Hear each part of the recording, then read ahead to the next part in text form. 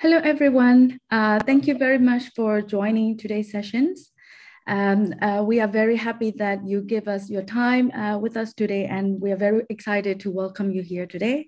Now, I would like to give the floor to Professor Diana Suhardiman uh, to give us the opening and the introductions. Thank you. Thank you so much, uh, Pan Ei Phyoe. So good, uh, good afternoon, everyone. Uh, thank you for coming to this event. Uh, my name is Diana Suhardiman. I'm a member of uh, NEWAVE Network and currently director at the Royal Netherlands Institute of Southeast Asians and the Caribbean Studies based in Leiden, the Netherlands. Uh, I would like to welcome you all to NEWAVE Distinguished Lecture by Professor James Scott, which will be followed by presentations and roundtable on Myanmar hydropolitics. Uh, the, the, event is organized by NEWAVE in collaboration with the Amsterdam Sustainability Institute, Water Security and Justice Cluster, and Mutual Aid Myanmar. So for those who are new to NEWAVE, uh, NEWAVE is an innovative training network funded by the European Union Horizon 2020 Research and Innovations and Marie Sklodowska-Curie program. As a network, NEWAVE uh, includes 35 leading organizations in the field of water governance, including universities, research centers, international organizations, NGOs, and the private sector worldwide. In concrete terms, uh, NEWAVE pushes forward a common research agenda and is currently working with its 15 PhD researchers that are conducting their respective research on various water governance case studies around the world. Uh, before I start with my introduction uh, for Professor James Scott, I would like to also introduce Stew Motta. Uh, Stew is a NEWAVE early stage uh, researchers uh, Stew will be chairing uh, the Q&A session and the session roundtable on the hydro, uh, Myanmar hydropolitics later on.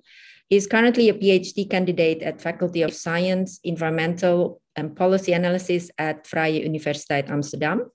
Uh, prior to come to the Netherlands, uh, Stew has worked extensively in the Mekong region as network liaisons for the waterland ecosystem a Greater Mekong research program. And also, I think uh, Pan Ei Phyoe, for those who do not know uh, her, Pan Ei Phyoe is the Oxford Water Network Coordinator at the University of Oxford and a global water policy consultant uh, for the Alliance for Global Water Adaptation. Uh, so before, uh, without further ado, I think uh, let me introduce Professor James Scott, known to many of us uh, by his remarkable and groundbreaking research work. Professor Scott is Sterling Professor of Political Science and Professor of Anthropology and is co-director of the Agrarian Studies program at Yale University. He is a fellow of the American Academy of Arts and Sciences and has been a fellow at the Institute for Advanced Study at Princeton University and the Wissenschaftskolleg zu Berlin. In 2020, he was also awarded the Albert O. Hirschman Prize by the Social Science Research Council. Through his extensive and in-depth research in Southeast Asia, Professor Scott has developed groundbreaking concepts and radical theoretical perspectives on how we can look at power relations while using a different set of analytical lenses. Uh, his research focuses on better understanding of power relations, politics, and interscalar power dynamic, shaping and reshaping the different actors and institutions uh, strategies in the context of natural resource governance, approach from political science and anthropological uh, perspectives. This emphasis I found uh, and approaches uh, provide not only a very refreshing look at political science and anthropology, but also creates a bridge for current and future uh, trans transdisciplinary research. Uh, last but not least, Professor Scott's work has significantly contributed to positioning peasants as decision makers the powerless as the powerful, the peripheries as the central, and in so doing, not only theoretically contest the existing power relations and to a certain extent power asymmetry in the world we all are living in, but also inspires many of us to each in our own way further ongo- ongoing debates on and contribute to social justice. So moving from Zomia in upland Southeast Asia to the Salween, uh, to the Irrawaddy River in, uh, in Burma, his work shows how academic research can inspire a new generations of researchers, both in the North and the South, and contribute to the creation of grassroots interscalar alliances in natural resource governance and beyond. So before uh, I invite Professor Scott to start with the talk, I think Pan Ei Phyoe would, uh, would like to uh, share some information on the logistical procedures regarding the Q&A uh, section. Uh, thank you very much, uh, Professor Diana uh, for the for introducing Professor James Scott and uh, me and Stew as well. Uh, before we start the sessions, I would like to share a bit of housekeeping. So this webinar will be recorded and also will be streaming via the NEWAVE YouTube channel, and the recording will be made available by the end of the sessions. Um, you will notice that all of your mics are muted and the cameras are turned off. Uh, this is intentional to keep our focus on our speakers and also our panels today. So at the bottom of the Zoom webinar on your computer at the toolbar, you will see the chat function as well as the Q&A functions. Please do use this Q&A function to ask your questions uh, for the speakers um, if you have any during and after the uh, presentations. Um, you can also type and submit the questions, um, and also people can also upvote the questions uh, uh, in which you like to ask uh, the speaker and then make them answer first. So yeah, and also please do send any other additional comments or greetings via the chat. So please do reach out or write in the chat if you experience any ongoing technical issues, but please bear in mind that our limited capacity to address this issue while the webinar is running. So now I would like to welcome and give the floor to Professor James Scott. The floor is your professor.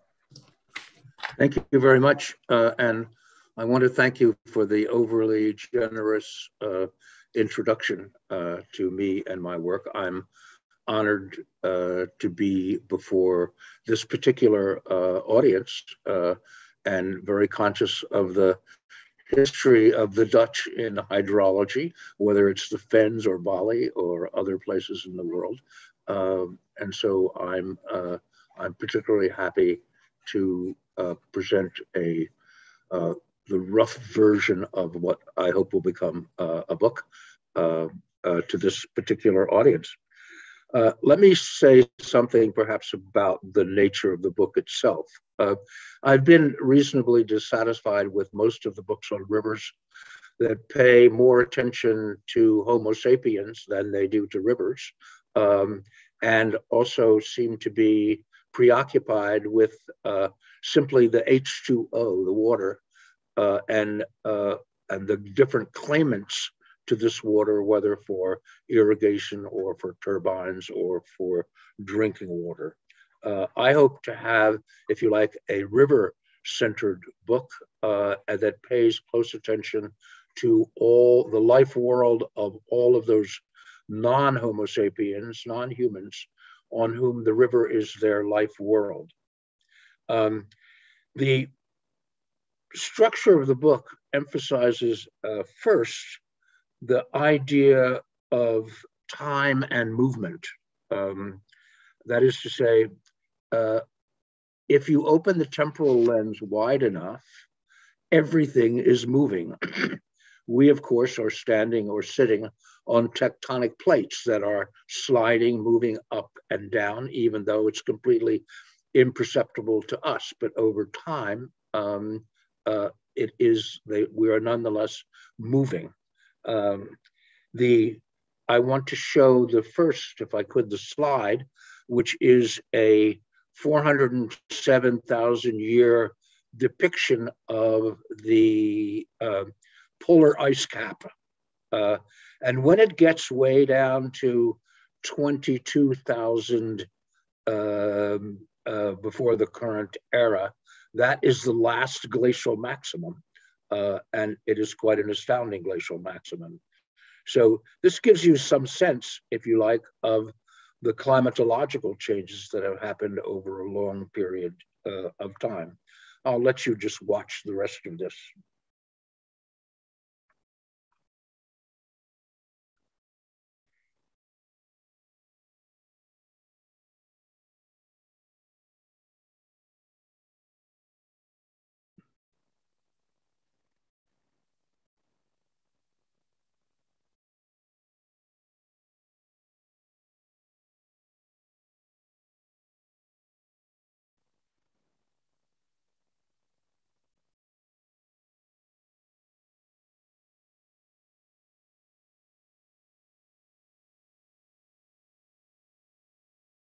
Uh, thank you. Um, uh, it is also important to emphasize that things that we don't normally think of as moving are actually moving. To take, if you like, the uh, period after the last glacial maximum, 22,000 years ago, and moving from, let's say, uh, 15,000 uh, BC until 7,000 BC, uh, we can see movement that is normally imperceptible to us. That is to say, if we take trees, which seem to be rooted in their place, uh, the fact is, if we had a time elapse photograph of the warming after the last glacial maximum, we would notice that the oak and beech trees that were in their refugia along the Mediterranean in the Balkans were marching north and bringing with them uh, their insects, their birds, their soils, uh, and the suite of creatures that thrive in the forest, beech and uh, oak forests. So again, if you open the temporal lens wide enough, the things that we think of as static and unmoving are in fact uh, moving and moving over great distances, providing you open the temporal lens widely enough. The second um, thing I want to emphasize uh, in the study I hope to finish um, is that the Anthropocene for rivers begins long before industrialization. That is to say, it is largely a Neolithic effect um, uh, brought about by agriculture and population growth and deforestation. Not just deforestation for agriculture, but also for the firewood needed for pottery, for the firing of bricks for the walls of the early states, uh, for metallurgy uh, and warfare. Um, and if you add to that the drainage for agriculture, uh, the earlier dikes and levees to hem in uh, the river, the result is a tremendous transformation of the watershed uh, long before uh, the modern additions of dynamite, earth moving machinery, and reinforced concrete that we are preoccupied with uh, now. Um, so the loss of wetland habitat, the floodplain clearance, the creation of large uh, sedimentation in rivers is in effect uh, a product of the Neolithic going forward uh, uh until, let's say, 1600 um, at the latest. Um, the, the third aspect I want to emphasize um, is the emphasis on non-human impacts. That is to say, um, all those life forms for whom the river uh, and the riverine landscape is their life world. And not just the fish, which we often concentrate on because they're a particular of importance for human consumption, but bivalves, mollusks, flood adapted plants, waterfowl, other birds, amphibians, insects, uh, and biotic life um, generally, because that biotic life is the basis for um, the whole pyramid or the food chain uh, of the, all the riverine species. Uh, to turn to the, uh, my own interest in rivers, uh, I have done a lot of fishing and canoeing on rivers, as a matter of fact, historically. Um, and but I've been teaching a seminar on rivers and politics for the last seven or eight years. But I date the germ of my impulse to actually write something about rivers to an encounter that I had at a conference. Uh, and the conference site was hosting two meetings simultaneously.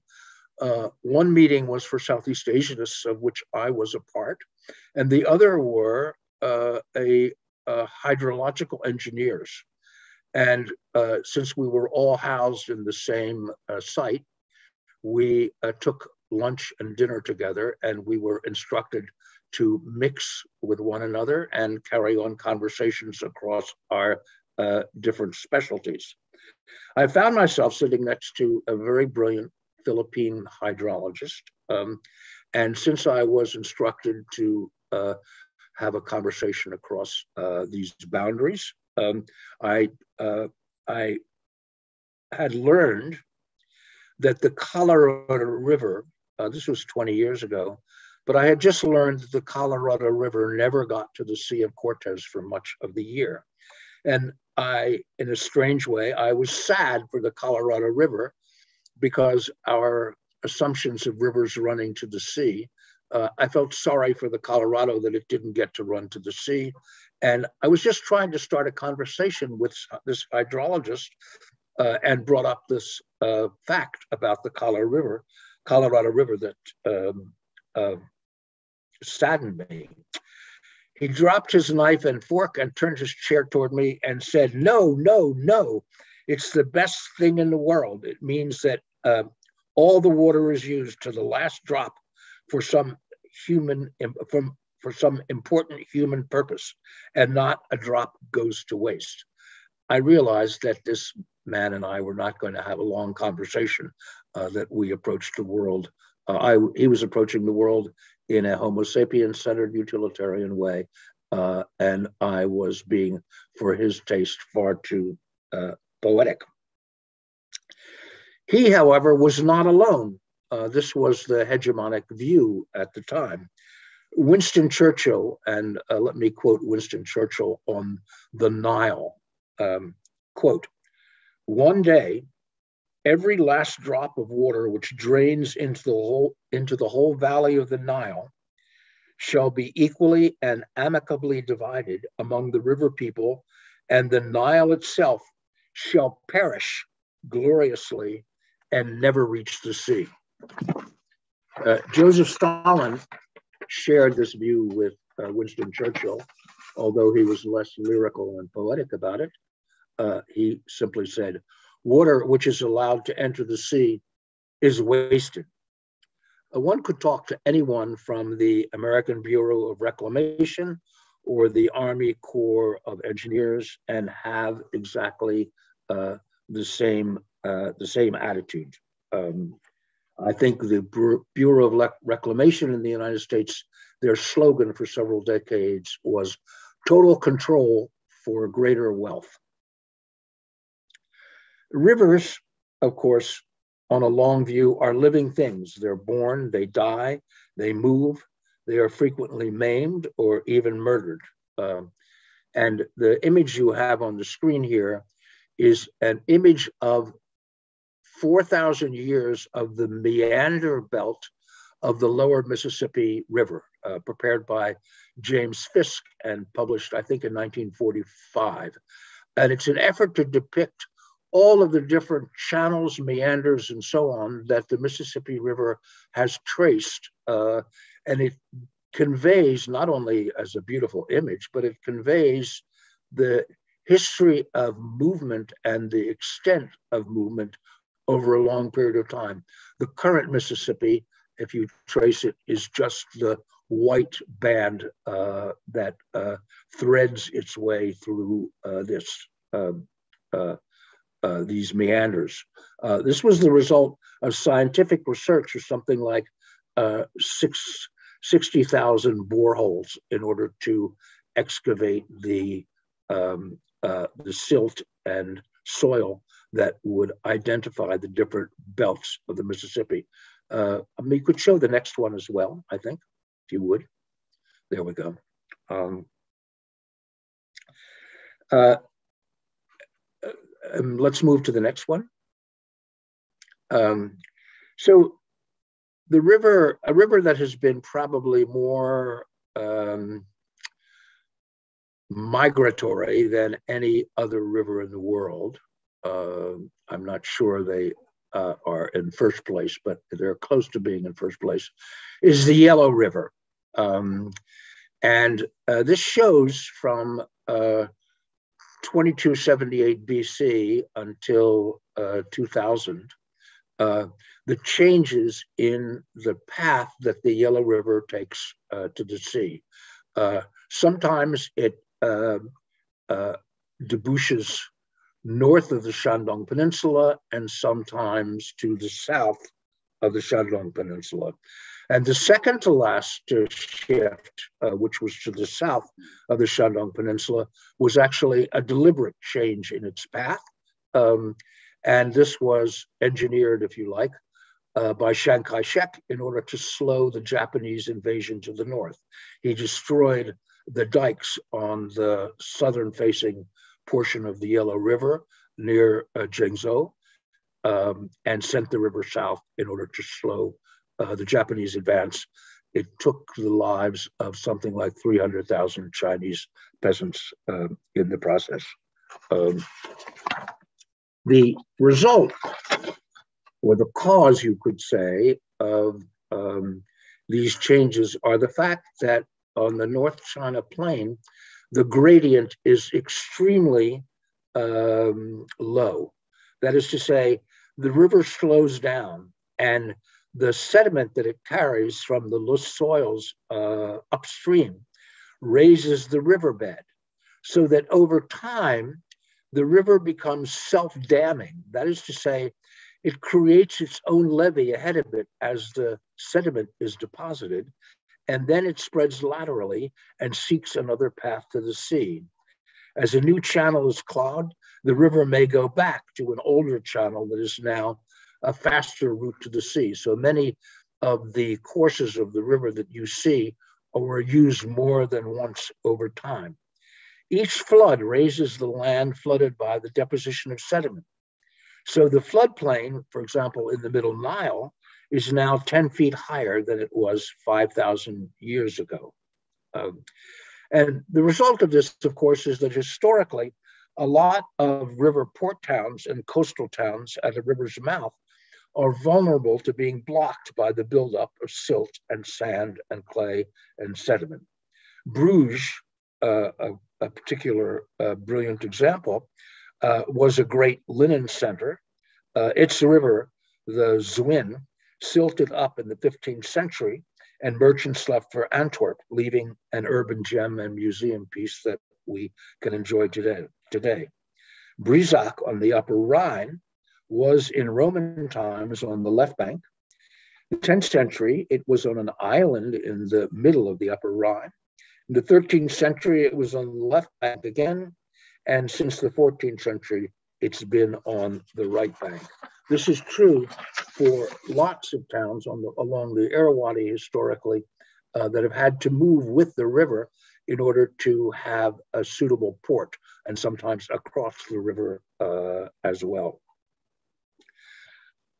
I had a view of the, uh, let's have the next picture, by the way. Yeah, this is a, just from 1855 to uh, 1976, the many different traces that uh, the Yellow River took um, uh, north and south of the Shandong Peninsula. I had a view of the changes in the course of the river that are described in the technical literature as accretion. That is to say, the gradual carving out of meanders uh, as a river uh, at its flood pulse um, is likely to exaggerate a bend uh, because of the difference in the flow rates. Uh, and that little by little by little, um, large changes were made in the course of the river. Um, I realized, uh, realized I was mistaken um, in the uh, in this by having spent the, most of a decade in the summers along a trout stream in central Pennsylvania in the United States. Um, and uh, I had observed the changes in the uh, in the stream over time that were a result of ice. Um, but in 1972, there was a massive flood. Uh, and I realized suddenly that 99% of the changes in the stream uh, occurred during flood tide, right, at the very peak of the flow uh, within a very small number of hours. Uh, and this is called avulsion, of course, in international law. Uh, and it is the sudden change in the bed uh, of a river that comes from catastrophic floods uh, or uh, large, uh, simply large floods. Um, the uh, let's see the um, one can see this movement in oxbows. You're all familiar with this, in which oxbows are cut off and create um, actually very important wetlands uh, along the floodplain. Uh, the next one, please. This is just an actual photograph, and you can see, uh, we go back one, yeah. Uh, one can see the um, uh, oxbow that has been cut off. And on the left side, I think, of your screen, you can see a meander that probably in the next flood or the next one after that uh, might be cut off and create another uh, oxbow. Um, uh, next image. This is just a map of the uh, River uh, from uh, and Myitkyina in the north all the way down to Moulmein uh, and Labutta uh, in the uh, Irrawaddy Delta. The Irrawaddy is moving all, all, the time, of course, as well.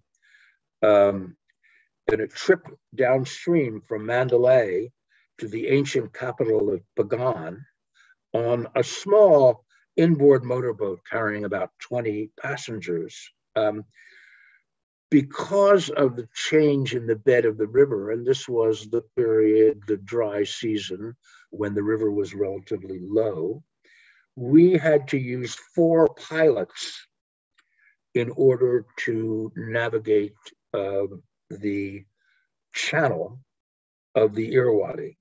That is to say, the captain of the ship, who had been doing this trip for the last 20 years, um, did not trust himself because on a daily basis, the um, channel would change depending on uh, how the sand moved uh, uh, and how uh, drifting of uh, sediment could clog a channel that had been viable only the day before. These four pilots were each a specialist in a particular stretch of the river, and they made their living this way. They came on the boat um, uh, for two hours or so. Um, they navigated us uh, through the channel, which they knew intimately. And then, when their knowledge was exhausted, they got off the boat uh, at a particular designated village and a second pilot got on who knew the next stretch of the river. And after that, a third pilot, and after that, uh, a fourth pilot. Um, and of course, uh, uh, it happened uh, reasonably often uh, that boats got stuck. Nonetheless, uh, although with less frequency, if you had a knowledgeable pilot. Um, on bigger cargo carriers on the Irrawaddy, the danger was greater. Which, the next image, please. Uh, American viewers uh, will um, be struck by these poles, which are uh, used to gauge the depth of the river uh, at the prow uh, of all of the ships that navigate the Irrawaddy. And those markings are um, uh, markings of, of depth. And uh, two people at the front of the ship are likely to use this in low water and call out something like that would be translated four feet, four and a half feet, five feet, three and a half feet, uh, giving the draft that is available beneath the hull uh, of the ship. Next image. Um, when we got stuck, you can see how shallow now these this the ship has become stuck. It is a larger one than the one I was describing earlier with only 20 passengers. And what they did was to put off three crew members and what you see them doing, we can have the next picture as well. The next, there we go, just a close, a close up. They are planting the stake in the sand. Uh, and once they, when they have it secured, it will be attached to a cable uh, and that to a winch on the back of the, on the stern of the ship. And the ship will then uh, uh, navigate, wiggle itself back and forth to the left and to the right and try to get itself off the sandbar on which it is, uh, which it is stuck. And this happened on a longer trip uh, with a larger ship uh, four times. And in one case, uh, it lasted for more than 24 hours before we were able.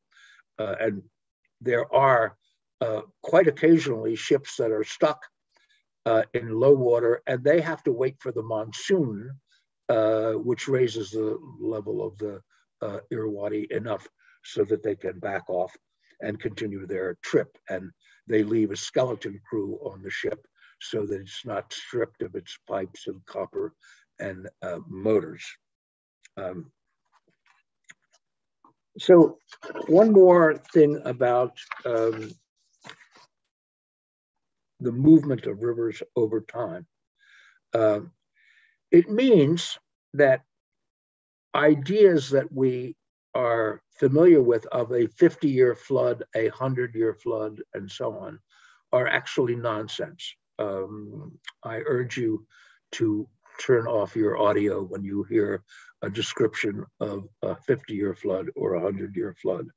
Um, the Rhine, for example, had four 100 year floods in 12 years in 1983, 88, 93, and 94 that should give one some pause over the meaning of a 100 year flood.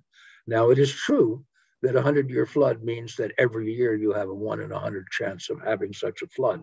So, statistically, uh, although it would be rare, uh, it is uh, not impossible. But for most rivers, we simply do not have the statistical series of water level and volume flows that go back more than 100 or 200 years which would even in principle allow us to make such a statistical generalization. Now, the Yellow River or the Yangtze or the Rhine or the Danube or the Euphrates would be partial exceptions in which we have longer records. But the most important thing is that even if we did have a deep historical series, the assumption behind such generalizations is of a hydrological equilibrium. But the river is not the same river from year to year. It's moving silt and sand and clay. It's carving new channels and meanders. Its normal flood stage is building natural levees. And if we add the early Anthropocene and the Neolithic, uh, it, radically, a river is not the same river um, from one year to the next as the watershed is deforested and the amount of silt in the river uh, increases. Um, if we take the Mississippi that we've uh, seen images of, in 1800, most of the Mississippi bank was forested. In 1960, 95% of the Mississippi River bank was in agricultural crops. Even if we forget about all the other uh, interventions, um, the fact is that uh, the, the assumption of a 100 year flood is assumes that the river remains a constant hydrological in, in constant hydrological equilibrium when in fact uh, the hydrological uh, equilibrium of the river is changed radically often from decade to decade. The most important movement uh, to get to the a core of my talk, the most important movement in the annual life of a river is the flood pulse. That part of the year during which the river overflows its channel banks and occupies its habitual floodplain. The pulse of high water may come from the monsoon, from snow or glacial melt, from seasonal rainfall, and it may be of different degrees of variability. But it is a completely natural part of the annual cycle of a river.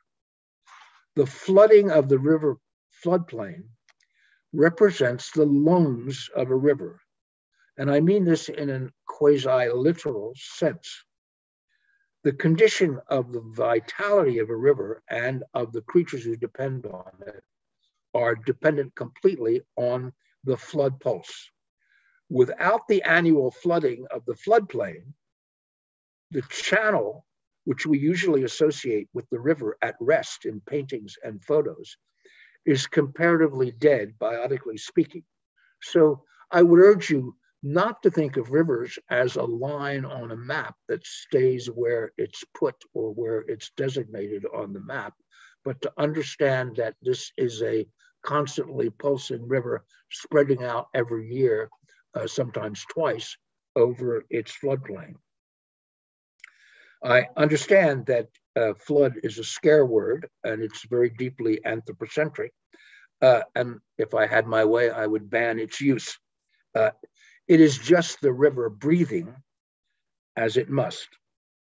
On this view, we would understand a flooding of settlements near the river on the floodplain as a result of Homo sapiens encroaching on the natural floodplain of the river, an act of trespass. The periodic flooding of the floodplain is the life world and condition of existence of all the species that inhabit the river or who dwell along the river. Uh, could I have the next image, please? Uh, this may be hard for you to, uh, to read, but it is a processual image of the effects of the flood as the river rises uh, and uh, drowns the vegetation at the edge of the river, and then uh, the uh, the forested floodplain, uh, and then retreats as the flood recedes. Fish, for example, get as much as 80% of their total annual nutrition from the huge flood pulse that the flood stage affords as they spread out over the floodplain. That is to say, the floodplain contains the nutrition that is central for most of the life forms within the river. They spawn, they put on rate on weight, they feed on the invertebrates and the decaying organic matter and the microbes that are on the floodplain. There are huge migrations of fish to take advantage of this feeding frenzy. Uh, anadromous fish, salmon, alewife, herring, shad, not to mention non-seagoing fish, rush for the food. The floodplain may be 40 times wider than the channel. In the Amazon, of course, there's a huge variation, and there are in the Amazon fruit-eating fish uh, that depend on the flood pulse to raise the river level so that they can reach the low-hanging fruit uh, along the banks. In the Mississippi, the fish catch had declined by 83% over 50 years. But the year after the 1993 massive flood, the fish catch established a new record uh, for fish capture. Studies of the Danube have shown that the greater the extent of a flood in a given year, the greater the fish haul the year after. It's not just fish, but a whole cavalcade of all those creatures that depend on the concentration of nutrition. That is to say, waterfowl, riverine wetland birds, heron, muskrats, fox, wolves, raptors, herbivores coming for the fresh grass, sprouting after the flood recedes, and all the microparasites that feed on this cavalcade. So as the flood recedes, much of the nutrition from the floodplain returns to the channel as the water uh, comes back into the channel, recedes into the channel, where some of the larger fish, channel catfish, dolphins, benefit as well, as well as the comparatively immobile shellfish, clams, and bottom larvae. The point is that the flood uh, not only benefits those creatures that are able to feed on the floodplain itself, but those creatures who are in the channel and don't leave the channel, but who benefit from the nutrition that the recession of the annual flood brings back into that uh, channel. Um, so that the flood, as it recedes, provides, um, along with the river's tributaries, most of the nutrients that are available. What the flood provides, if you like, is connectivity. It moves water over the landscape, creating a huge variety of habitats. Backwaters, ponds, marsh environments, slow moving, warmer water, refuges from larger predators, uh, varied assemblages of food and habitat that favor different riverine species.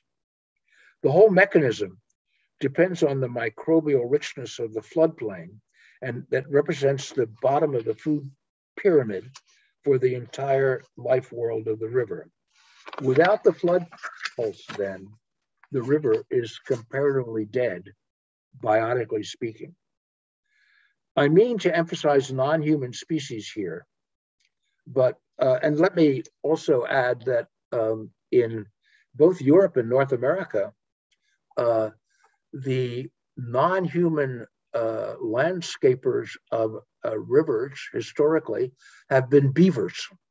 Uh, and beavers are responsible, if you like, for slowing down the movement uh, of water by innumerable dams, creating wetlands and rich habitat, and the extermination of the beavers, essentially for uh, the hats of Europeans, um, was a a devastating blow to the wetland richness of uh, a, if you like, a river system inhabited by millions and millions and millions of beavers who are now, uh, they're trying to restore them, uh, but they became largely extinct. Um, now, I've talked about non-human uh, species here, but let me say a bit about what the flood pulse does for Homo sapiens. Um, in a word, the floodplain produces civilization. No floodplain, no civilization. Almost without exception, all archaic civilizations were found on floodplains, often near the estuary of a river. Why is that so? It's the only place where you can have a concentration of foodstuffs and people in a small circumference in which state making is possible. Look at what the flood does. It drowns all the competing vegetation. It lays down a layer of nutritious silt that provides nutrients to the crops, usually cereal grains. It provides, especially if it's a well behaved flood, in the Nile Valley generally, a perfectly harrowed field ready for sowing. No plowing is needed.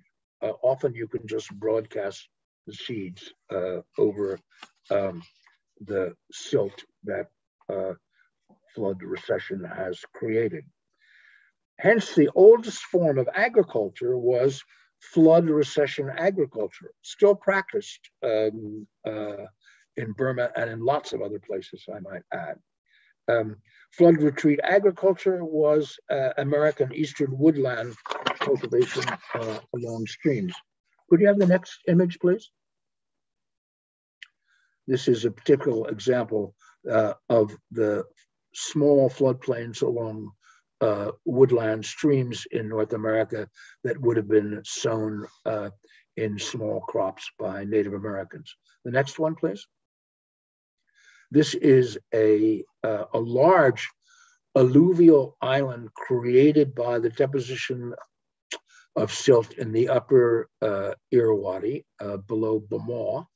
Uh, and uh, villagers compete uh, vigorously for the rights to this land because it is so extraordinarily rich, even though it requires building a, a bamboo bridge every year uh, in order to allow the cultivators to move from each of the banks uh, into uh, this alluvial island that is seasonal, rich agricultural land. Um, now, I'm, I'm going to skip um, a, uh, we could see the next image, please. Okay, this is um, uh, the portion I'm skipping over is what I would call for those Southeast Asianists among you uh, a wetland zomias. That is to say, historically, uh, people who have tried to get away from the state have gone to the mountains and the hills. But in fact, another refuge are swamps and marshes. So that in, for example, in uh, the Great Dismal Swamp on the border between North Carolina and Virginia, uh, there were 6,000 escaped slaves at the beginning of the Civil War because it was a place to which uh, slaves could escape and be safe. This is a depiction of the uh, below Basra of the Marsh Arabs, uh, which was a place of refuge for uh, thousands of years, actually, um, in marshes, finally destroyed uh, by Saddam Hussein uh, and drainage but it was a place where uh, rebels, people who didn't want to be conscripted, um, uh, enemies of the state, and so on, uh, could repair to. And they became, if you like, an ethnic group there. Uh, the next image.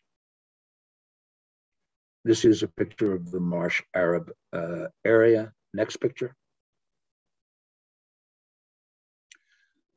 This is a, a, an, a reed-built palace of a sheikh among the Marsh Arabs. Its floor has to be replaced uh, every year by a new layer because it starts to rot. But it's quite an extraordinary piece of architecture made entirely uh, with sedges and reeds. Uh, the next image. This is what's left of uh, much of this area today and the people who live there are now beggars in Basra and Baghdad and so on. Next image. Uh, this is the picture of the um, Great Dismal Swamp uh, area that I referred to that was a refuge for runaway slaves. Next one, please. Uh, Harriet Beecher Stowe, who wrote Uncle Tom's Cabin, um, also wrote actually a superior uh, novel called The Tale of the Great Dismal Swamp, Dred, uh, almost in uh, penance for what she thought were the mistakes of Uncle Tom's Cabin. Next one, please. That's uh, uh, the author. Next one. Uh, the for those of you familiar with Chinese literature, uh, the Water Margin novel is a great classic of literature, and it's about uh, runaway uh, gentry, serfs, peasants, and so on in the Huai Valley uh, Delta, uh, south of the Yellow uh, River and north of the Yangtze. And it's a actually very famous classic uh, you can buy a deck of cards with 106 or 109 heroes of uh, this uh, epic. And it reads like a cowboy um, uh, epic that is actually hard to put down. Next picture, please. Okay, this is an example of uh, the Rhine uh, and the so-called rectification of the Rhine uh, that uh, you can see all the meanders that have been eliminated. Uh, those are the dark blue um, uh, tracings. And the bright blue line uh, represents the uh, re-engineered Rhine in which all of, for navigation purposes, um, the loops that have been taken out in order to increase the flow and make it more easily navigable. Uh, and it has shortened, I think, the total length of the Rhine by something like 143 uh, kilometers over time. Uh, now, floods are um, understood by ecologists as an instance of disturbance ecology. That is to say, um, for environmental scientists, the word disturbance um, uh, carries a purely scientific meaning. However, uh, I don't particularly like the term disturbance because it risks obscuring the fact that floods are an annual, natural, and fairly predictable event in the river. That is to say, they're not disturbances at all, they are part of the rhythm of the river. That is to say, such disturbances are normal and periodic and to be expected. Um, and uh, eh, but the word disturbance is proposed in contradistinction to equilibrium analysis, in which the succession and distribution of fish and insects and birds reached a terminal state that was stable. As, as we can see, the forceful stopping of these natural perturbations, that is the real disturbance, the real intervention, the, the attempt to enforce a permanent equilibrium uh, in the river and to stop its natural movement. Um, the flood creates new mosaics of plants and animals and insects. It opens the canopy. Um, uh, it, it begins a new succession of colonists, a mosaic of patches. You can see what the flood accomplishes. It eliminates much previous vegetation. It soaks the soil deeply, bringing in nutritious silt an open and inviting environment waiting to be colonized. It welcomes flood adapted marine life, flood adapted insect life, flood adapted flora, seeds that have been waiting a long, long time for a good soaking. It invites quick colonizing species from adjacent patches. It creates a favorable spawning environment for a selection of species of fish, insects, and birds who do best in uncrowded open environments. It creates innumerable edge environments or ecotones that, as we know, are species rich precisely because they provide access to two or more environments, often seasonally. This is what happens without humans, uh, although humans have tried to shape this. Um, I, I, want to um, make a parallel here between fire and flood, uh, often which are considered two of the great plagues of mankind. Fire, which is also natural as are floods, kills much of the previous flora and opens the canopy. Just as there are water, a flood adapted species, there are fire adapted species, pine trees, whose seeds only germinate by fire created temperatures. Then there are the so called R plants that quickly colonize, like in the United States, fireweed. You have morel mushrooms. I know European mushroom hunters that, if they're visiting the United States, consult maps of forest fires in the previous year because they know uh, that if they go to a place that has been burned the previous year, the morel mushroom harvest is going to be uh, abundant. Um, again, uh, much of this happens without humans, but humans can use it.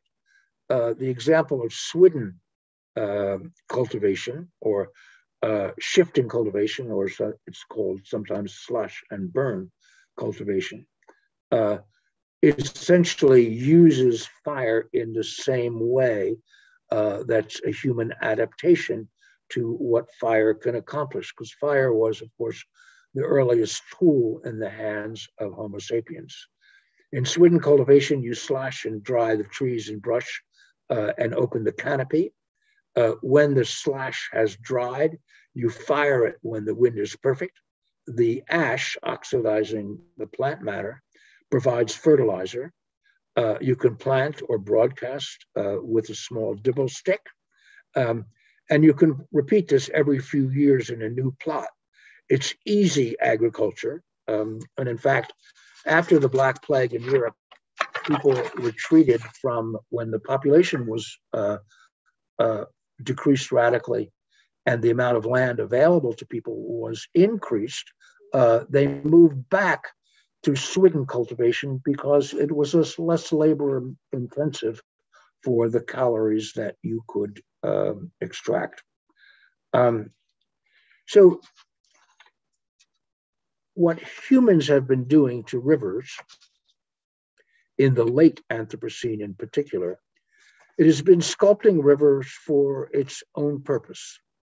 But it's only with the invention of dynamite in 1870, the subsequent earth development of earth moving machinery, bulldozers and such, and reinforced concrete that are, if you like, the essential component of dams, that the sculpting of the river landscape has taken on protean proportions.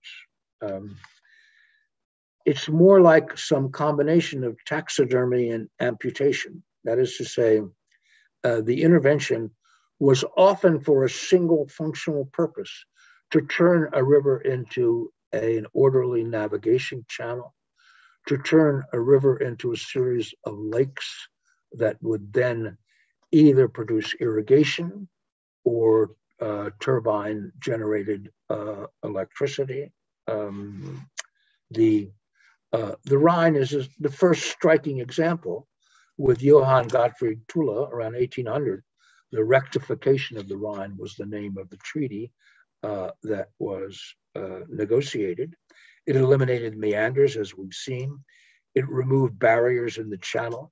It confined the river to a single bed with no braids of uniform width and uniform depth, and hopefully uniform speed of current, and to make it into a canal. That is to say, the effort was to take a river and make a canal, to domesticate the river for a single human purpose, to take a variable and make it a constant. Um, and it was, as I mentioned, shortened by 150, roughly 150 uh, kilometers in the upper Rhine. I'm, I'm conscious that I'm speaking to the residents of the lower Rhine uh, here. Um, drop of water in Switzerland that would have taken 10 days to get to Holland now takes only three days uh, to get to Holland. So you can have uh, an appreciation for how it has radically changed the structure uh, of the river over time. Um, so the abstract question, I suppose, uh, that is not answerable in any simple way is uh, when is a river still a river? That is to say, uh, given all the human interventions in the river, um, can you still call it, uh, call it a river? I remember uh, actually uh, at a university at which I taught, we had a friend who had uh, a cat. And the first time we saw the cat, it, for some reason, its tail had been uh, amputated. The second time we saw the cat, it had been spayed or neutered so that it couldn't reproduce. Um, and the third time we saw the cat, it had had its claws removed surgically. Um, and I remember my wife and I talking on the way back from the visit with this, uh, uh, the owner of the cat, uh, and asking, uh, could you still call this a cat? How many things can you take away from a cat and still call it a cat? Uh, well, I'm not sure what the answer is, but it seems to me uh, one has, in a sense, denuded a river of so many of the attributes of a river uh, that calling it a river is no longer uh, a useful description of uh, this uh, channel of water that has been so engineered uh, and domesticated. Um, again, the most striking example of this is the Yellow River. Um, because what happened along the Yellow River, especially when it slows down on the North China Plain, is the growth of population and the growth of levees in order to protect that population. The early Chinese dynasties wanted to protect that population because they uh, were uh, producing grain, valuable grain. They paid taxes. They were conscripted. Um, they were the basis of, if you like, state formation. Um, and so um, what they did was to confine the river by a series of dikes and levees. The result of that, uh, because the water slowed down uh, because of the gradient of the North China Plain, is that uh, the silt was deposited on the bed of the channel and therefore raised the level of the river. Um, the river then, the river bed rose well above the surrounding plain. And here you have an example uh, where the river is third, the bed of the river is 33 feet above the surrounding plain near Kaifeng in Henan. Thus, a 1998 flood, which contained only a third as much water as the 1958 flood, nonetheless rose three feet higher on the dike wall. Now, in Kaifeng, uh, what you have is an aqueduct. This is, you may want to call it a river, but in fact, it's 33 uh, feet above the surrounding floodplain. Um, and it is an aqueduct and not uh, a river that is our sense of a river is something incised in the landscape uh, and below the uh, surrounding floodplain. Uh,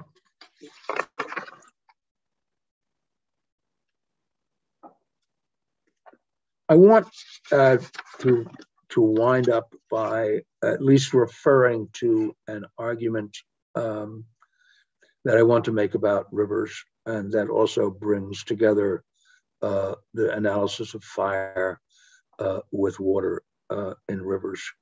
There's a medical term called um, iatrogenic illnesses. And it's a simple way of describing uh, what we often say the cure is worse than the disease. Uh, in this case, that is to say, iatrogenic illnesses, which are a majority of hospitalizations in the United States, I'm told, uh, are medical problems that arise because of previous medical treatment, either the rise of antibiotic resistant um, uh, germs and viruses, uh, the uh, result of earlier surgical interventions, the clash of different medications that are operating at cross purposes, and so on.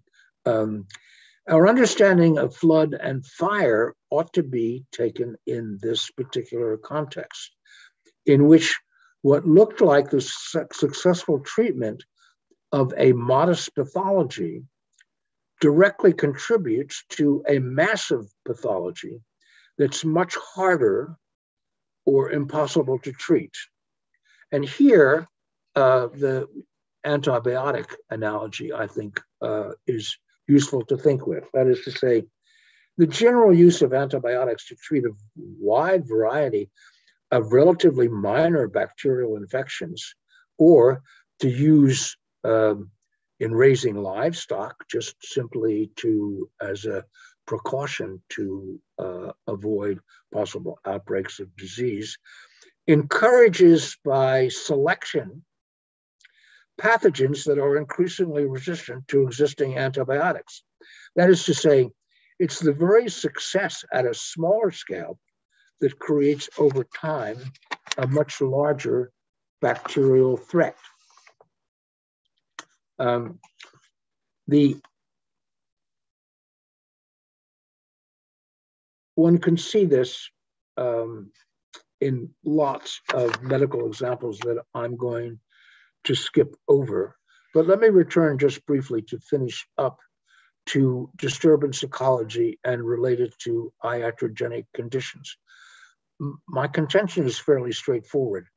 The elimination of small disturbances directly creates the conditions for larger catastrophic disturbances. Preventing small floods leads to large floods. Preventing small forest fires leads to large forest fires. In the United States, for example, for a long time, uh, the US Forest Service thought its job was to suppress all fires, uh, even though the great majority of fires are a completely natural phenomenon spread by lightning uh, and so on. Fire suppression is an artificially maintained equilibrium. That is to say, like the elimination of uh, small floods in the floodplain. Uh, but the effort was to prevent all forest fires and to extinguish them as quickly as possible.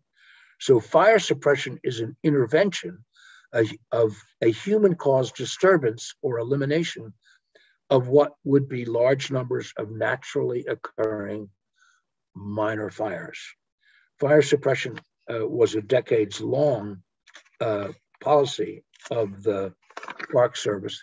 And the result was the huge buildup of combustible material in the forest and an artificial equilibrium that favored fire, uh, that favored fire intolerant trees that would not have been there in such numbers.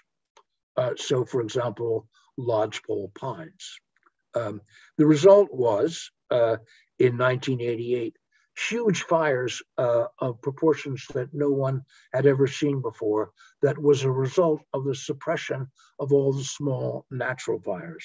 In the same way, the suppression uh, of, uh, if you like, floods by dikes and levees and so on uh, in the Mississippi River uh, and by the straightening of the channel uh, and the draining of adjacent wetlands and the extermination of the beaver um, uh, eliminated all those processes that created small disturbances, many of which were actually beneficial for agriculturalists and for Native Americans uh, historically.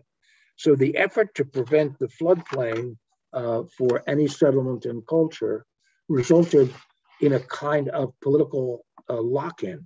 You had agricultural crops right up to the river for about 90% of its length, a policy of levees only that walled in the river, and the silt, of course, was deposited on the riverbed, as in Kaifeng, raising its bed above uh, the adjacent uh, uh plain. The result of this was that in the flood of 1993, uh, 1,100 of the 1,500 levees on the Mississippi failed. And they had to break levees elsewhere to release the river, uh, the river into the floodplain and to choose which areas uh, would suffer. And as you can imagine, it was the most disadvantaged and marginal people uh, who suffered most. So 65 years of river engineering and billions of dollars spent on it since the Great Flood of 1927 was completely undone in a few hours. The river broke in the end its flimsy chains.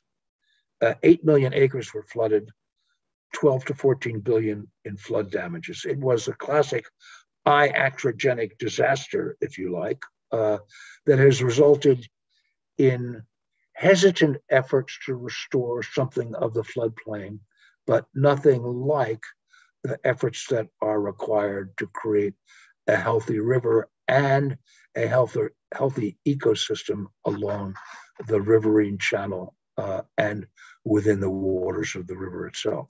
Let me end there. Thank you for your attention.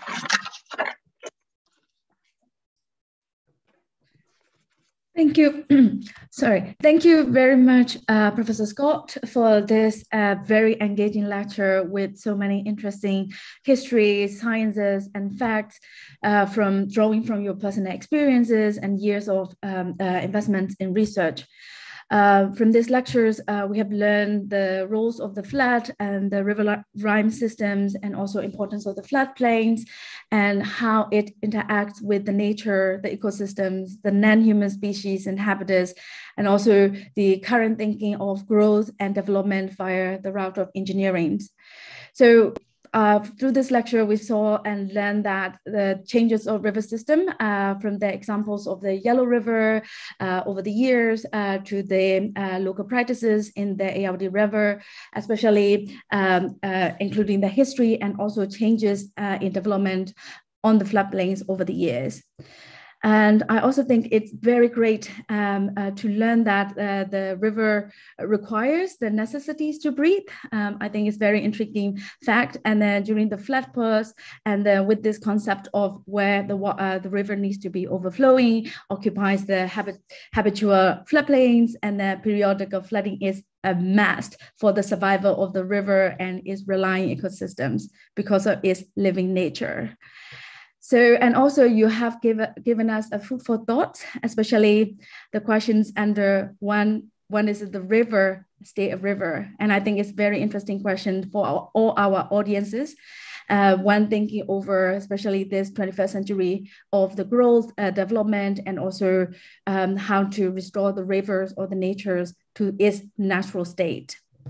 So with this in mind, I would like to open uh, the floor uh, to the audiences.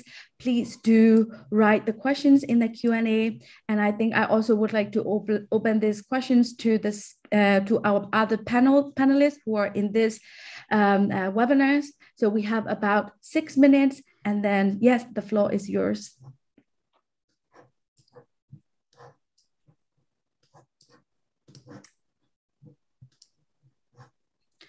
I have not received uh, many uh, Q&A in the uh, Q&A box, but uh, when we are having another panelist sessions, you're also welcome to ask or post the questions in our Q&A chat. So we have received um, a Q&A now. Um, uh, Brian Bruns, um, uh, forgive me for the um, pronunciations, ask, what do you think are interesting questions to us about river restorations, such as uh, removing dams, having beavers, retent, rewilding, etc.?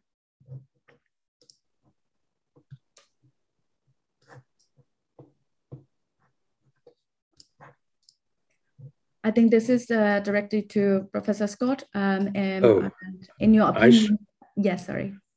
Oh, I see. Um, well, I think the for a thoroughly industrialized um, Anthropocene rivers, um, what restoration has amounted to are the creation of small spaces that remind us what a river might have been uh, before.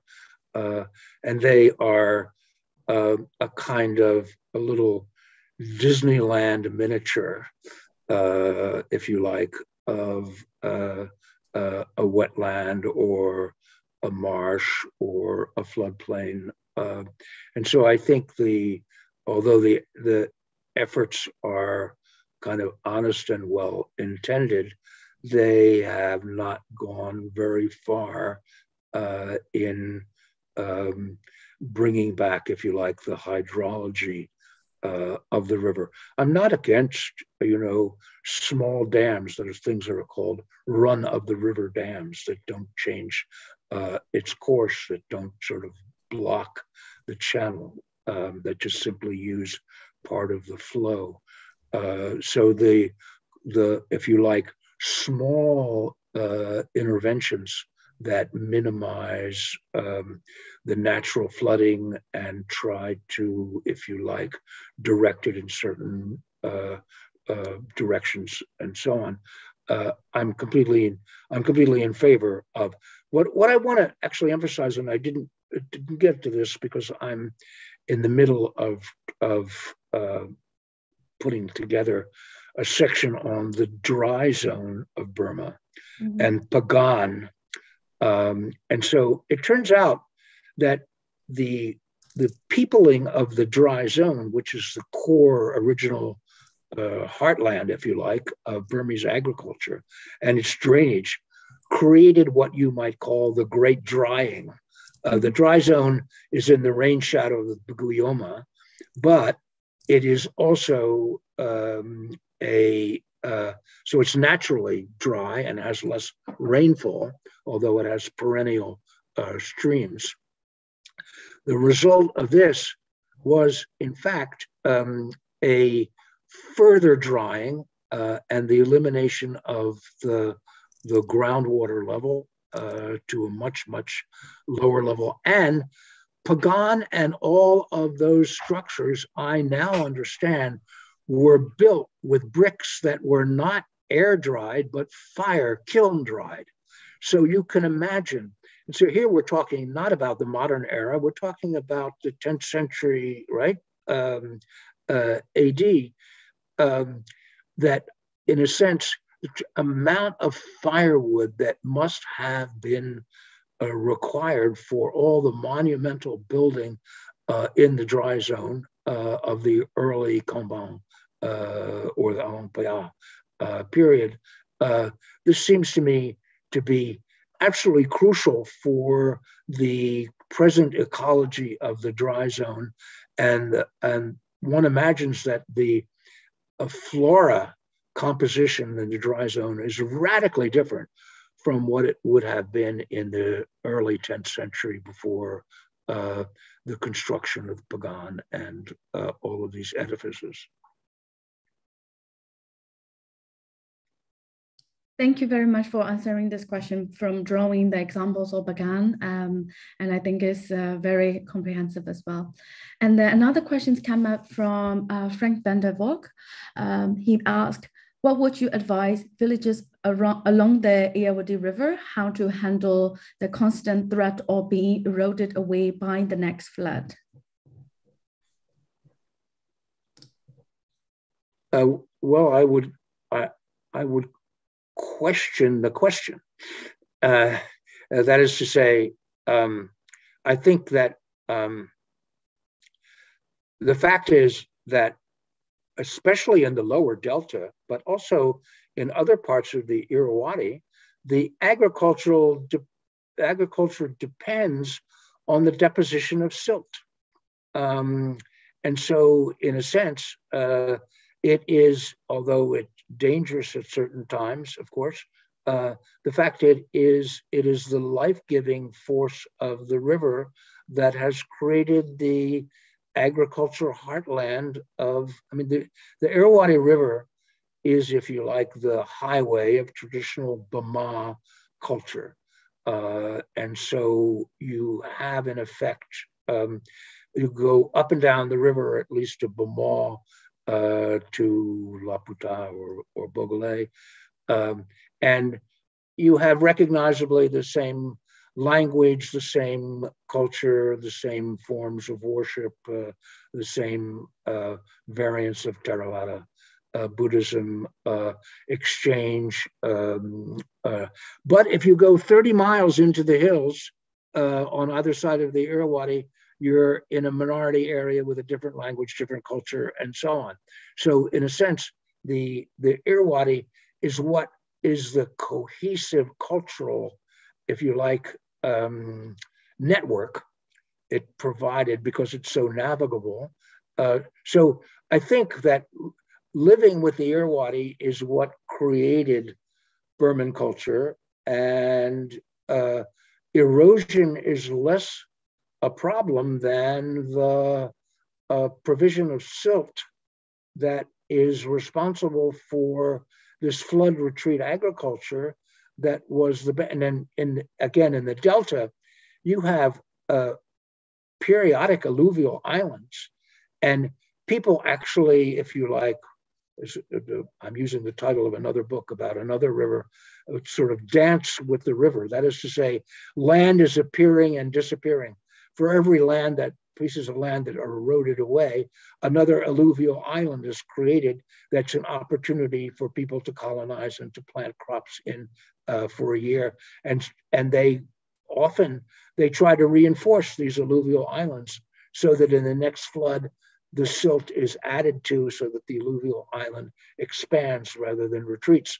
So the erosion is, um, uh, is giving and taking uh, at exactly the same time. And uh, I don't think it is a um, unmitigated disaster. And may, perhaps the questioner did not mean to imply that anyway.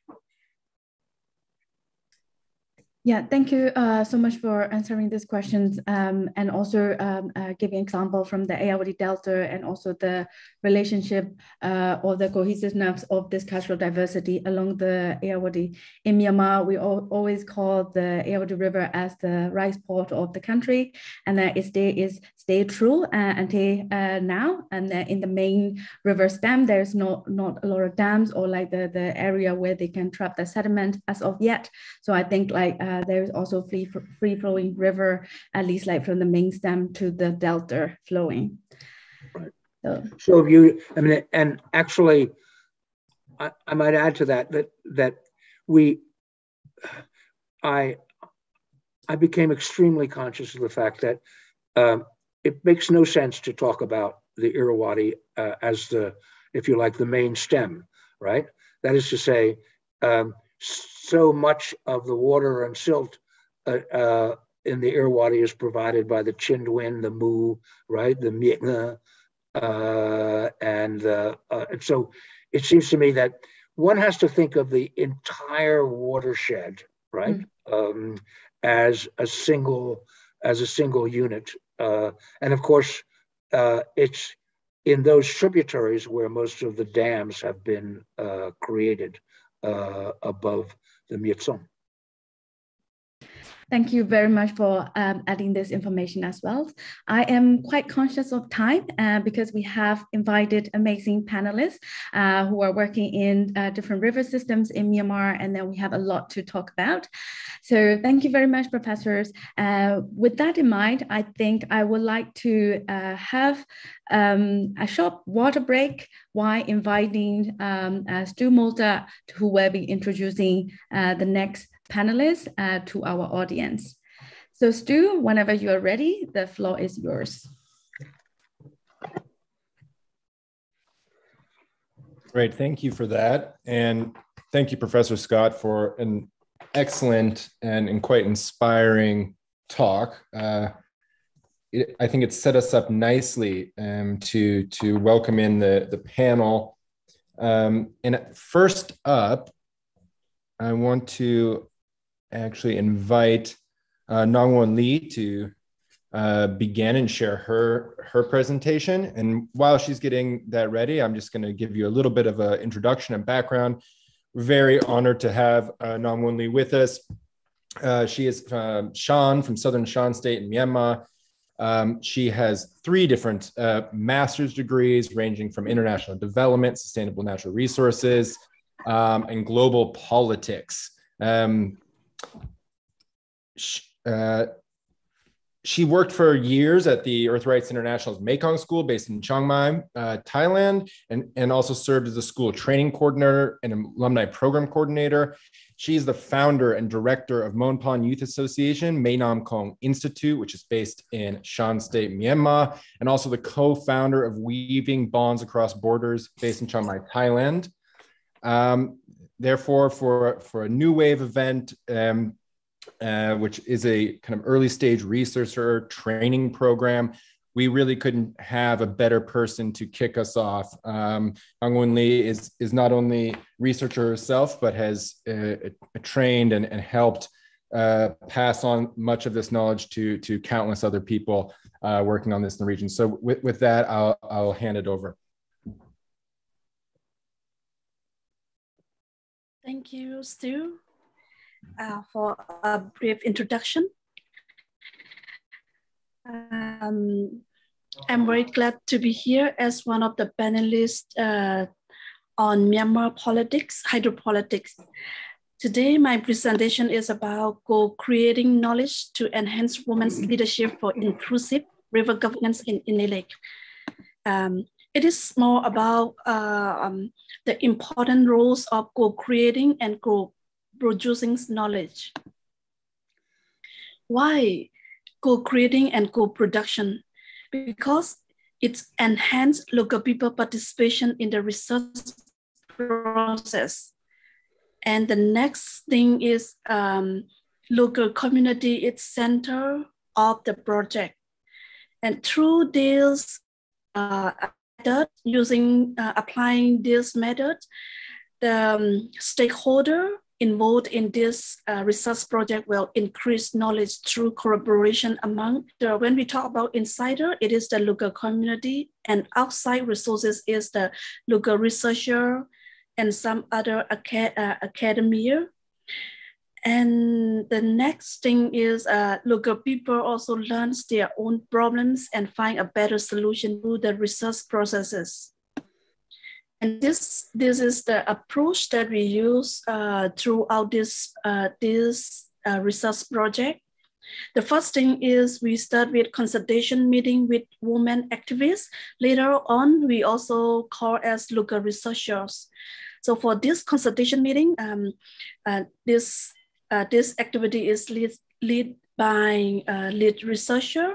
And the next step is the workshop. We are uh, also conducting a several workshop with local, active, local women activists. So this one also leads by the lead researcher. And the next step, and because we have uh, many steps uh, uh, for this uh, for this approach, um, the, the next step is about a focus group discussion with local community. For this, uh, for this activity, the women activists, um, local researcher who already joined uh, the consultation meeting and workshop. So they organize this one and they lead this kind of uh, focus group discussion. And the next step is workshop with local women and community members. It is another step. This one also led by a local researcher. And uh, we also have uh, regular team meetings. Um, for this activity, the stakeholder, uh, the involved stakeholder are lead researcher, local researcher, and local community member. And the next step is fieldwork. Fieldwork uh, for key informants interview with the local community in our focus area. So for this activity, this uh, lead by 10 local community members who join uh, consultation meeting, workshop, and different uh, uh, a different type of workshop and the activity that we organize. So this one is the consultation meeting. Um, and the purpose of this consultation meeting is to understand the project idea, to define the concept of knowledge creation and co-productions. And also uh, this consultation also um, um, help us to build trust between lead researcher and the woman activist who is going, uh, who later on uh, become um, a local researcher for this project. And uh, through this consultation meeting, um, um, we, we will also uh, understand the general context of uh, gender and water politics in, in Lake. And uh, lastly, um, the purpose of this consultation meeting is to conduct baseline survey so this one is the, the, the second step of our approach. So after consultation meeting, then we conduct workshop with women activists. Women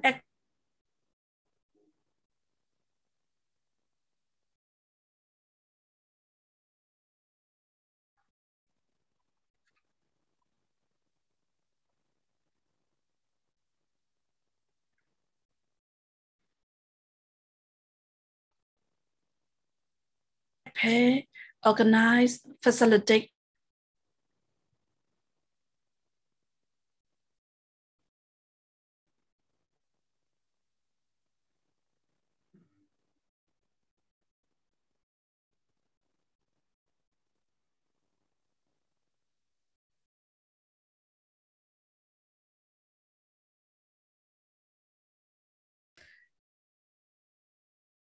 I think the internet uh, uh, is not quite stable at the moment.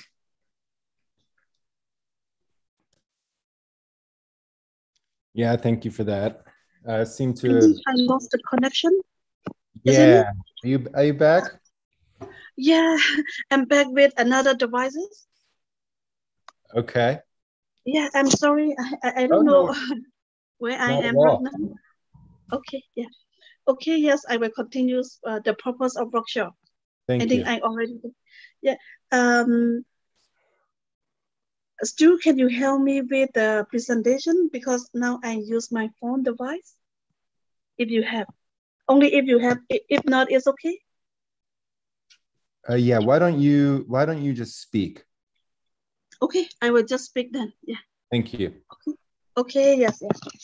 Yeah, the the purpose of the workshop with women activists is um, it is the next step, the second step that the local the local researcher, the um, the local researcher, they come together to prepare, to organize, to facilitate a meeting with the local community for focus group discussion in Inle and they also developed the agenda and resource questions to facilitate the focus group discussion in Inle. So it is the second step.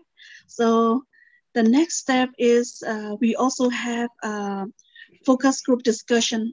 So for this focus group discussion, the um, local researcher, they uh, from the who joined the consultation meeting and also workshop several times. So now they became the lead uh, the lead uh, facilitator organizer for this focus group discussion. Then the purpose of this focus group discussion is um, to learn about the significance of the Inlay Lake and its value, and also the general livelihoods of people in inlay. And another key thing is about the different the different roles of gender and water governance in Inle. When we talk about gov uh, water governance, it also includes uh, water availability, accessibility, utility, and control. Who has control over the water resource? And uh, the uh, during this uh, focus group discussion, we also learned about the environmental issue in Inle Lake, the problem, root cause, and possible solution as well. And um, another thing is we also learned women roles in water governance and women and development. Uh, throughout this uh, focus group discussion, the local researcher, they learns from the local community. The local community also learns from the local researcher. So it is the purpose of focus group discussion meeting. And and we also conduct several workshops with women activists, the local researcher, and local participants from Inle. And the purpose of this one is um, like uh, the leads, the lead researcher, she or he never um, came with uh, came with a set of interview question or in, in uh, interview question. But here, what we are doing is the local researcher, they guide the, the local people to develop interview questions. They work together. And after that, from the interview questions, they review it and they test it. So in this way, they learn from each other. And we also have regular, uh, regular team meeting uh, between, uh, among the lead researcher, local researcher, as well as the local community.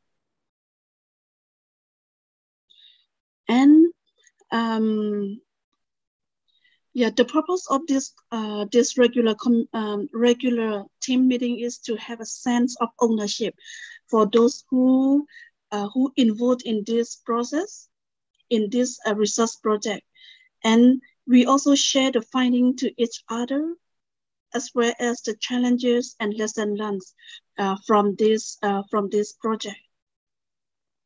Then the next step is a, uh, field research.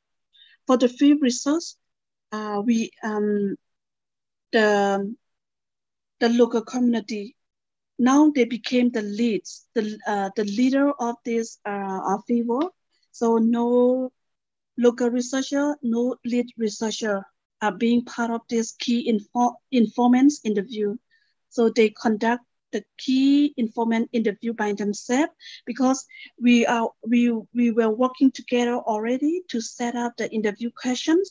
So by this way, they already have a set of interview questions. Then they go to the field and they discuss with the local community. Then uh, field research also uh, help us verify the findings because we have a lot of findings through um, different stakeholder from different activity, from consultation meeting, after that uh, focus group discussion, and after that key informants interview. So we have several uh, findings. So it is um, a way to verify our findings and to document and amplify the voices of the people as well. The strategy we use uh, for this uh, um, for this uh, for this uh, project is this project is led by the local women. So we can we can clearly see that they they have capacity to conduct the field work by themselves through working together closely. And um, the good thing about this strategy is that uh, the power sharing and the decentralization because the local people, the local community are actively participated and engaged uh, uh, through, uh, throughout the process. And the diverse knowledge are being also shared among the, uh, the lead researcher, local researcher, and as well as to the community member who involved in this project. And that the good thing about this project is we, um, it is not a fixed agenda. We, we keep everything open and and uh, we have also we also have flexible uh, project design because normally for the con, um, conventional uh, research project the researcher prepare everything and go to the field and take information from the community. And they don't even have time to share back to the uh, to the local people. But here is totally different. The uh, the local researcher uh, the outs, uh, the the academic uh, the academia they also working together to design the project to implement and to work together. So uh, that is why the broad as the research project is not a fixed not come with a, a set of uh, uh, design. So that's why we we make it flexible uh, to to our community member what they want to do. So every step as I as I presented earlier, consultation, workshop, focus group discussion, key informant interview. These all are coming from the working together, not uh, not from the individual person, like a lead researcher. So there's that uh, working through this way. So there's uh, more rooms for local people to uh, engage and to decide. And it is the last uh, the last uh, um, slide of my presentation. So, so far what uh, through uh, eight years of the pro uh, eight months of this project, the inputs, uh, what inputs we have is more than 10 stories and articles written by the local people.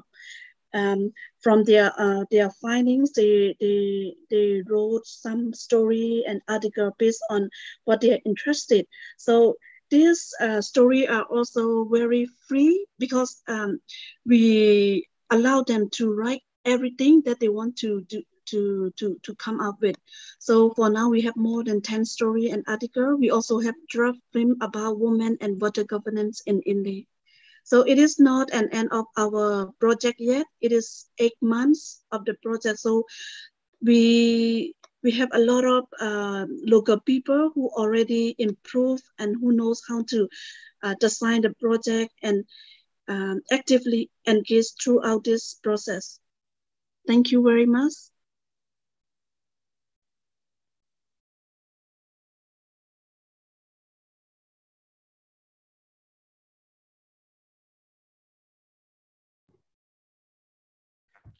Thank you very much for that presentation and uh, some really important lessons there. You can really hear uh, how much attention has been given to designing uh, research that is non-extractive. I think there's some important lessons there for, for anyone doing research at this point. Um, thank you so much for that presentation.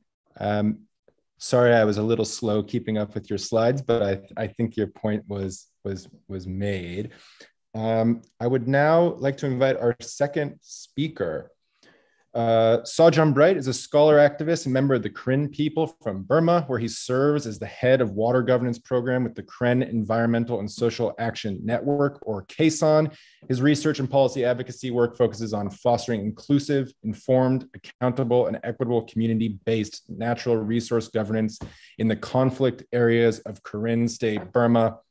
It is a great honor to turn the mic over to Saw John Bright.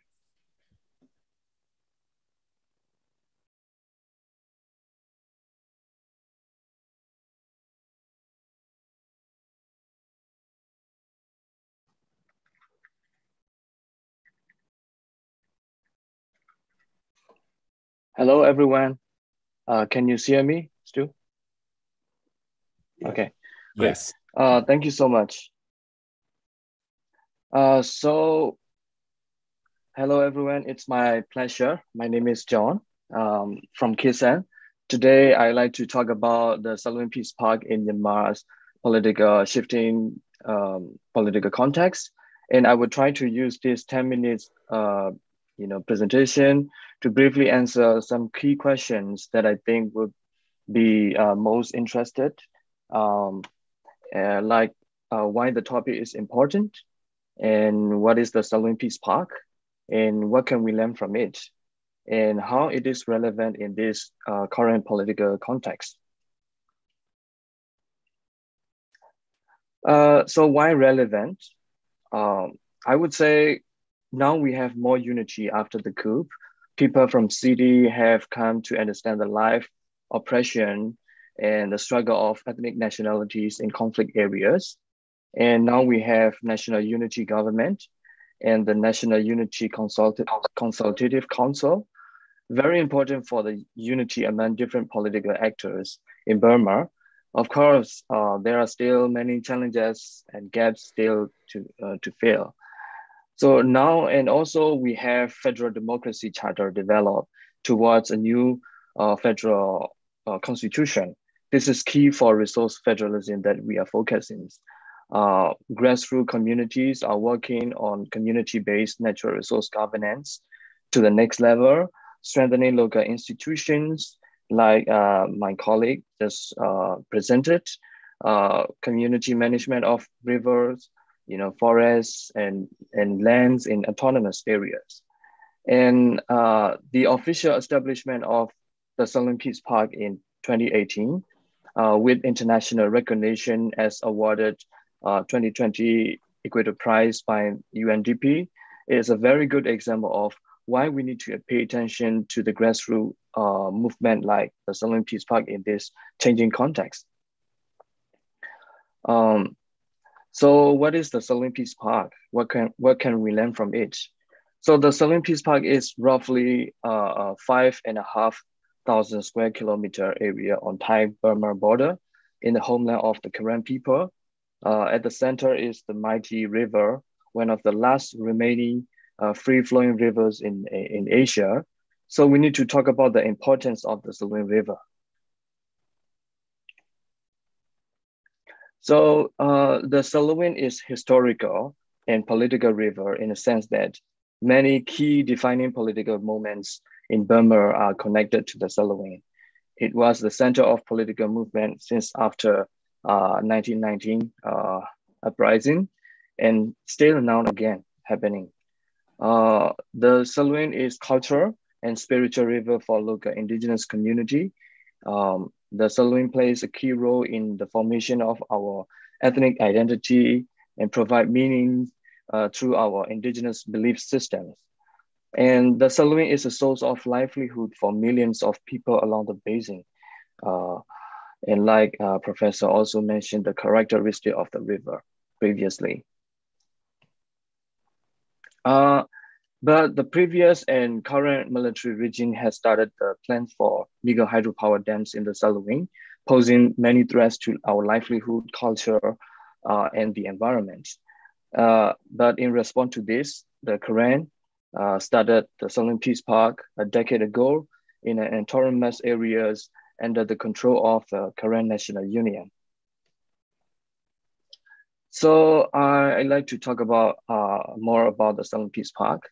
Um, the Salween Peace Park was founded uh, as a realization of self-determination, ecological integrity, and cultural survival. As you can see in this picture, the park is a prime example of grassroots democracy. It is democratically governed by local community uh, through an elected governing committee. Now you are seeing the Salween Peace Park governance structure, which is uh, explaining the, the characteristic of how uh, grassroots democracy is happening in the Salween Peace Park.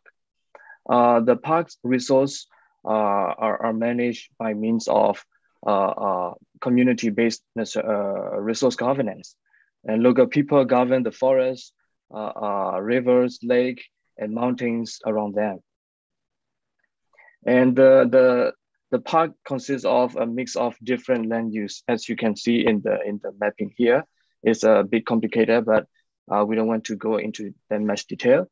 So the idea here is uh, to, to show the mix of different land use, and it consists of villages, traditional farm, uh, land, community forests, and wildlife conservation areas.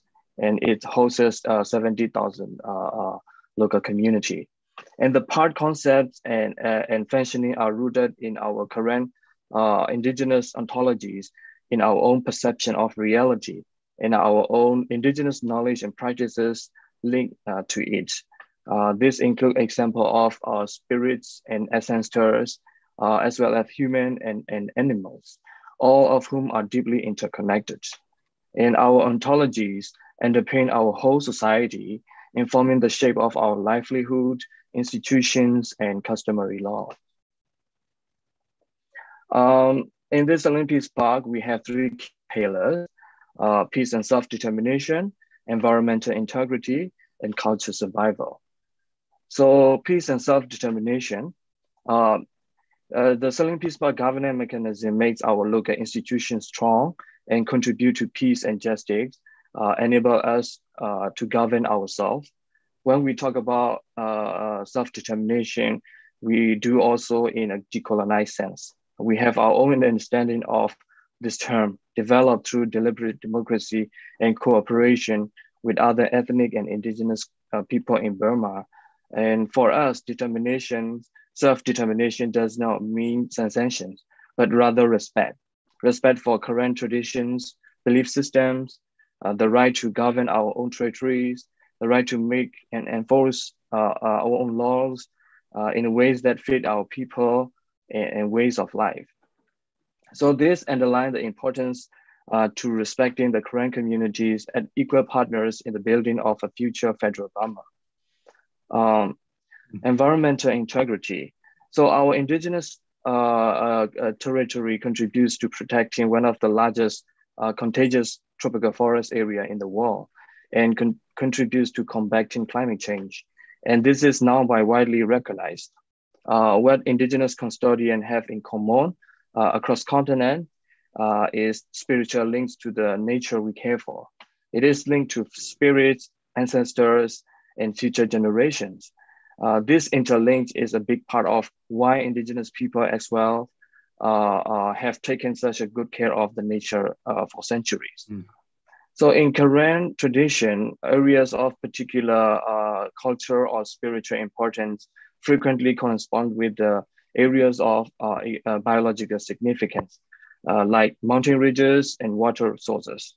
And this has led us led to a series of community managed protected areas being established across the Salween Peace Park as you, you have seen in, in the map before.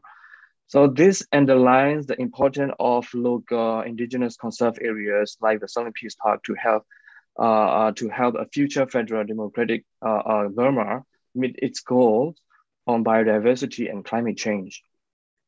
And, and last but not least, uh, cultural survival. So our way of life, belief systems, and our identity are all deeply connected to the nature we live with.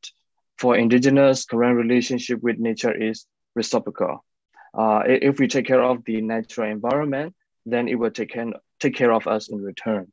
Uh, uh, for example, water ceremonies play a key role in, in annual harvest and plantation season, seasons, and, and community regularly meet on the bank of uh, our lakes and waterways to hold ceremonies and, and, and celebrations.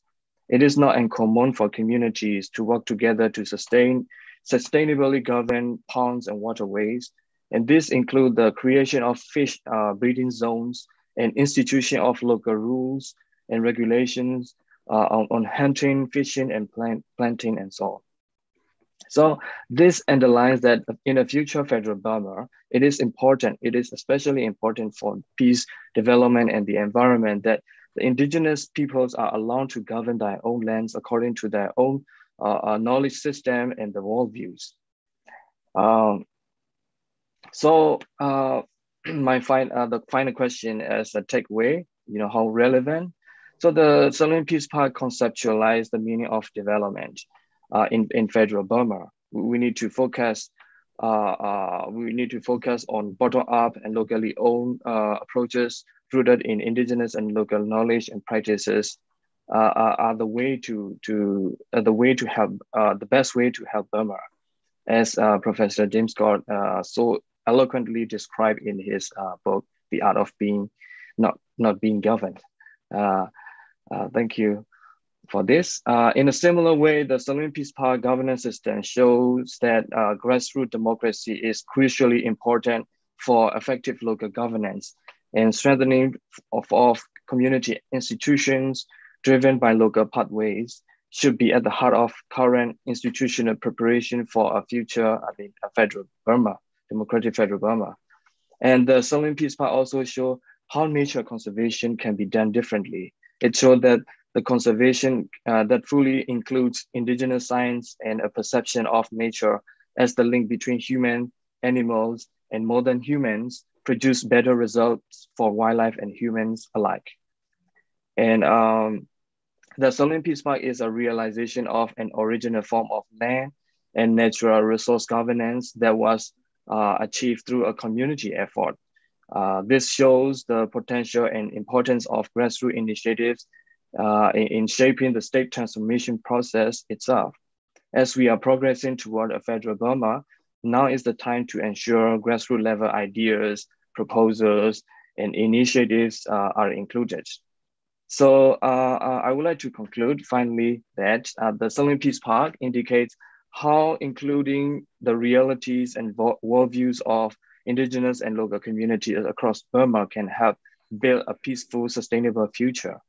So in the Salween, uh, whether we talk about the Shan indigenous belief or Karenni or Mon, a free-flowing river is of uh, a central importance. You know, mega hydro dams uh, are out of the question for all. These dams are strike at the heart of our cultural survival as well as people's ability to self-sufficient, maintain their indigenous knowledge and practices, and govern our own territories uh, uh, by ourselves in peace.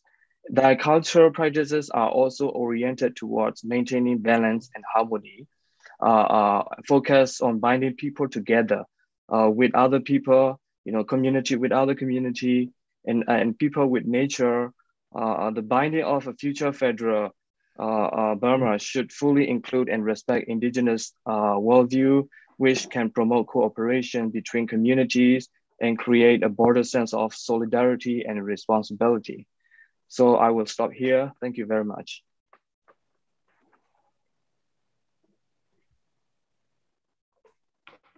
Thank you so much for that uh, powerful presentation. Uh, I think it really built on some of the grassroots democracy ideas uh, presented before you um, and on the process of federaliza federalization in Myanmar. Um, and, and, and beyond our talk here today or beyond a Myanmar focus, I really think the Salween Peace Park is a, an important model for alternative ways of, of thinking about conservation. So thank you so much for that. Um, I will invite the uh, next panelist. Um, I want to introduce Dr. Kyungmee Kim, who's a researcher at SIPRI's Climate Change and Risk Program, where she focuses on climate change and conflict and environmental peace building. In 2021, she received her PhD in peace and conflict research from Uppsala University. And she'll be presenting on local politics of water community resistance against dams. Kyungmee, the floor is yours. Thanks so much, Stew, and thanks for inviting me to this uh, very interesting panel. And uh, yeah, thanks, Professor Scott, for your intriguing lecture. That uh, was highly uh, interesting for us who've been working on uh, rivers, um, but with the much less, uh, much shorter time frame than than than you were you were referring to in your lecture. That's uh, really looking forward to read the book, and thanks for other panelists share to share your highly important uh, work related to communities in Myanmar. So yeah, I've done my PhD on on the on community responses to to to dams in Myanmar. Uh, so I have a so this presentation summarizes some of the findings uh, from my from my work. So I would like to uh, start by asking uh, this question. So why why do some communities uh, collectively resist uh, dams while others do do not. And uh, if you if you think about some of the most iconic uh, dam projects like the Myitsone Dam, the Hatgyi Dam, and also the the smaller dams like the Shweli dams, the community's responses have been um, quite different. So just want to uh, present this map that Myanmar actually hosts uh, many, many hydro, hydropower sites uh, that are vary in, in sizes. So many of them are still at the planning stage. Uh, during the democratic opening, the government was very much uh, pursuing to, to make progress on this uh, hydropower projects. And many of them are um, on, on, the, on, on some of the important rivers like the Irrawaddy and the Salween River, but also others are located in the different tributaries and the smaller uh, rivers uh, in Myanmar. And uh, you, and, and Myanmar as a country, we know that the, the country has very strong tradition of activism and social movements, uh, even under very brutal military dictatorship. I think that that having said that, some of the dams has uh, led to, I mean, dam project ideas has led to a very uh, substantial nationwide uprising, such as the Myitsone Dam, has led to a very, very significant social movement against the dam project. The Hatgyi Dam has been opposed by the local communities as well as the uh, um, uh, very successful advocacy campaigns uh, for, for, for decades. But other small dams or even big dams, we don't really hear much about from the local communities and the and, and so on. So uh, so I focused on this uh, question, so why, why there is such difference. And the, so I found, I found some of the answers like the, like the nature of the dams didn't really have much role to play in, in, the, in the cases of uh, cases of Myanmar dams and, and the communities. Uh, so um, at the I mean, and, and also my explanation is linked to, to the title of my presentation because the water is also very much a local issue and the river and the people's relationship with the state, it's also very much um, embedded in this localized context. And because Myanmar is a conflict affected society, it's, it has uh, gone through a very, very long, long history of civil war. The people have different ideas about the state, and the, their identity has been formed um, and shaped by this, uh, by, by their collective experience of the conflict during the last uh, century. So, I mean, that's that's in a way um, the reason, rather than, for example, this uh, like different nature of dams. Like for instance, if the, if a hydropower project gives enough local benefits to the population or not, or does this uh, dam is located in a significantly uh, culturally significant site, for instance.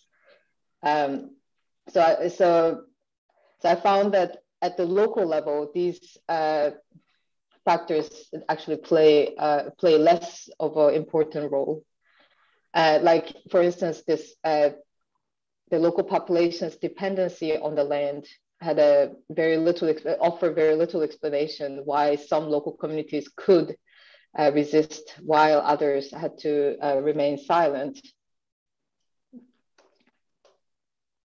So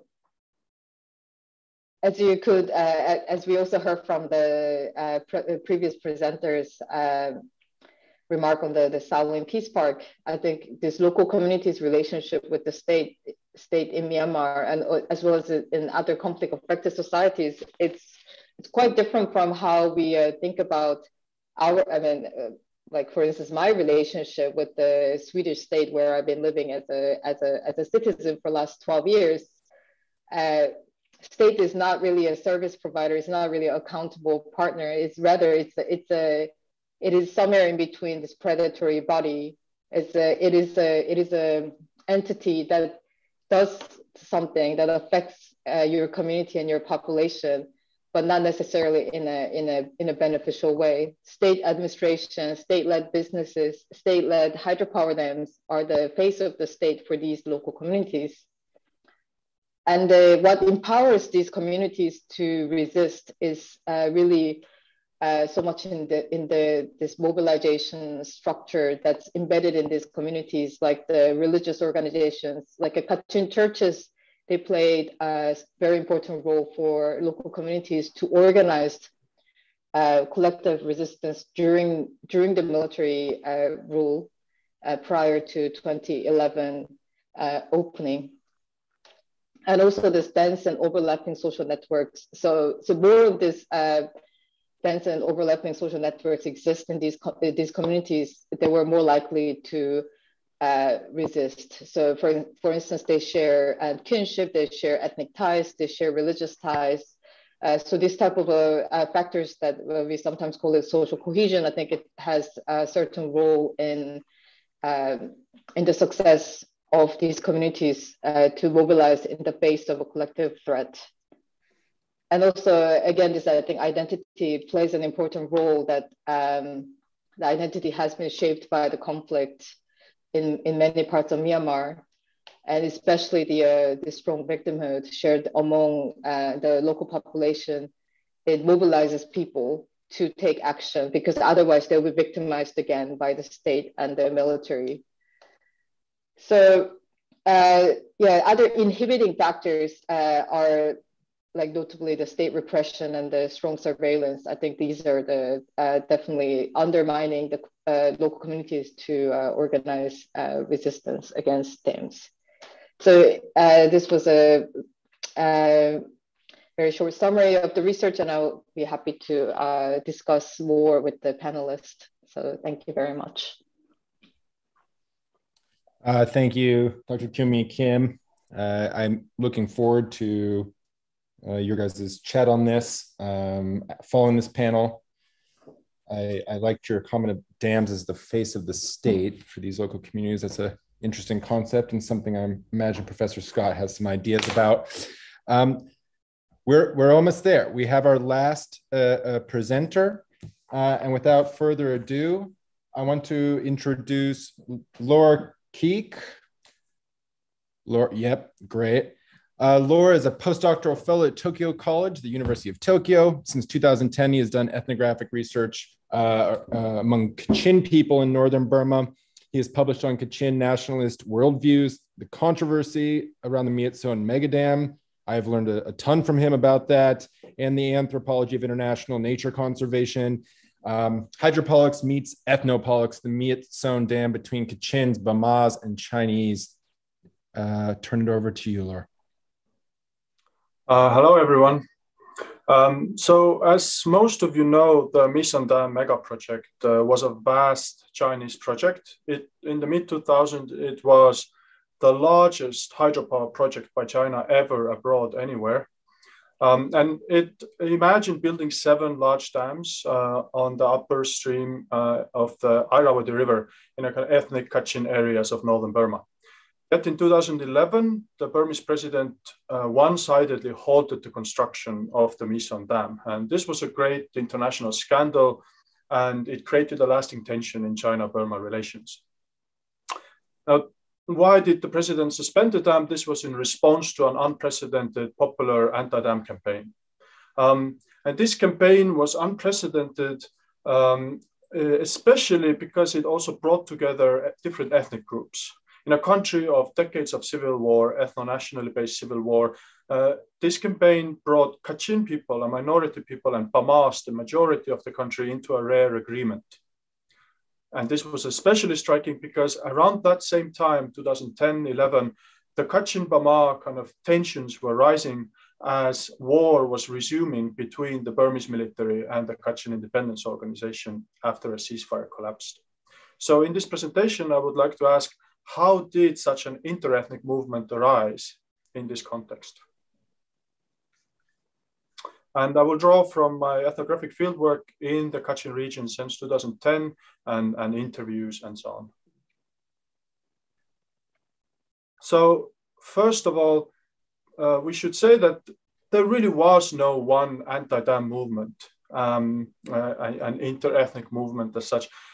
Actually, you could say there were three different movements. Uh, there was the local uh, Myitsone, this confluence Myitsone Dam area villagers, especially led by churches, Catholic and Baptist churches, who immediately, when there was the first signals that some kind of a secretive big dam project is coming to our home area, started organizing and mobilizing and resisting. Only a few years later, by the mid 2000s, uh, did such a kind of awareness and anti-dam resistance spread to broader Kachin society, to Myitkyina town, to, to, to broader Kachin networks, church networks, activist NGOs, and so on. And uh, uh, an awareness about this dam as a threat spread very quickly. Um, and uh, only uh, some years later, still did this awareness and this anti-dam resistance spread to lowland Burma, Yangon, Mandalay, the big cities, Bama areas. Um, all these campaigns uh, were kind of shared a fear that their homeland would be taken over by a foreign power. So for Kachins, the fear was that the Burmese military state and the Chinese companies are taking over Kachin land. For Bamas, Burmese, the fear was so-called Chinese colonialism or a Chinese takeover of Burma. So the campaigns were often driven by nationalism, Kachin nationalism and Burmese nationalism. And, and the Myitsone Dam kind of campaign is interesting because it brought together these two different, otherwise clashing nationalisms. Um, so in this presentation, I'm going to just share with you five voices, five interview quotes from different campaigners from the Kachin and Bama and other sides, and to talk about this, how did this interethnic kind of movement emerge? So this is the first quote, and this is by a Kachin activist. We felt upset. Our Kachin people are already suffering, forced to move, but other people besides Kachins don't get involved. All our work has no effect. We see more and more Chinese people coming and hundreds of trucks, backhoes, bulldozers, big new machines carrying supplies nonstop from China. We cannot sleep with the noise day and night. Woo, woo, woo, woo. Kachin people are merely watching on the roadsides. We cannot do anything and nobody helps. So this is a sentiment that I encountered among uh, quite a few Kachin activists uh, talking about this time in the kind of mid to late 2000s, around 2009 and so on, when they feel they've spent a few years doing dangerous activism, often uh, trying to spread information, protesting, sending protest letters, uh, organizing through churches and so on, yet nothing happens. The, the project steamrolls on, no one seems to pay attention, Lowland Burma doesn't seem to care. Um, so this general disconnect between the world of lowland Burma and, and the Kachin society. This is the second quote. It is by a Bama activist uh, in Yangon. We were already very aware of the anti-Bama sentiment among different ethnic groups. So we always sought ways to connect, build trust, and learn together to show them that the regime is not the same as the Bama people. So the first responders on the Myitsone issue were Kachins. They treated the issue as a Kachin issue, so they never collaborated with any outside actors. Their movement was cracked down on by the military. Some Kachin students were arrested, some ran away, and some came here to Yangon. We connected here. That's how we got involved. So this was a leading activist who really breached a lot of different actors uh, from Kachin activists to Burmese government actors to artist networks, activist networks. And uh, uh, this activist and, and others uh, emphasized to me that, look, for us, this was always also an interethnic peace activism. This was also an attempt to create some sort of solidarity between Bamas and non-Bamas. Um, so they kind of consciously wanted to get involved and, and, and, and, and uh, work together with Kachins. This is the third quote. And by a Myitsone area uh, Kachin elder. The Bama protesters talked only about the Irrawaddy, maybe water pollution, how water will become shallow and ships cannot come up to Mandalay, not concerning us here, but concerning their side. That's why I doubt them. Maybe they love Irrawaddy, but not Myitsone. So this is a, a, just an example of a, of a broad sentiment among Kachin people that at the end of the day, you cannot trust Bamas. Um, after decades of war, a sense that Bamas have always been lying to us, cheating us, deceiving us. And whatever they do and say, we should not believe them. Um, including when President Thein suspended the dam, uh, many of my Kachin friends, colleagues believe that this is some sort of a trick, a deceit, it's not real um, Aung San Suu Kyi, NLD, Bama activists are simply using the Myitsone Dam issue for their own political agenda and so on. It is not for the love of Kachins. The fourth quote. This is by a Bama elder uh, who was involved in the Myitsone anti-dam campaign. Don't be so narrow-minded. Irrawaddy is not only for Kachin people. It's the national river of the whole Myanmar, north to south. Any separation between the Kachin campaign and the Yangon campaign comes from the history of war. Kachin see us Bama people as if Burma soldiers. But why is the war so long? Because it relates to business, like jade or the gold in Myitsone. War is created by both sides. And so this particular elder was quite upset uh, when, when, uh, when telling me this. Um, feeling uh, you know a frustration with Kachin nationalism, with the ethnic politics, and the desire to put the politics away. Um, and it's uh, quite a so not everyone, but quite a few of the Bama campaigners expressed to me a sense that uh, you know war is they want to be neutral. That the both sides are extreme, and they want to kind of step away from. They want to focus on the river, the environment. And once we get into politics, we're just going to keep arguing, and it's going to be a mess. So this also reflects a kind of Bama privilege uh, you could say that this you can kind of step back and say that you know it's none of uh, not to do with us and, and we can be neutral. And and the frustration with the sense that the Kachin seem to be uh, pursuing national independence. And finally the fifth quote is by a Kachin activist. When giving speeches to Bama audiences I gave them an analogy.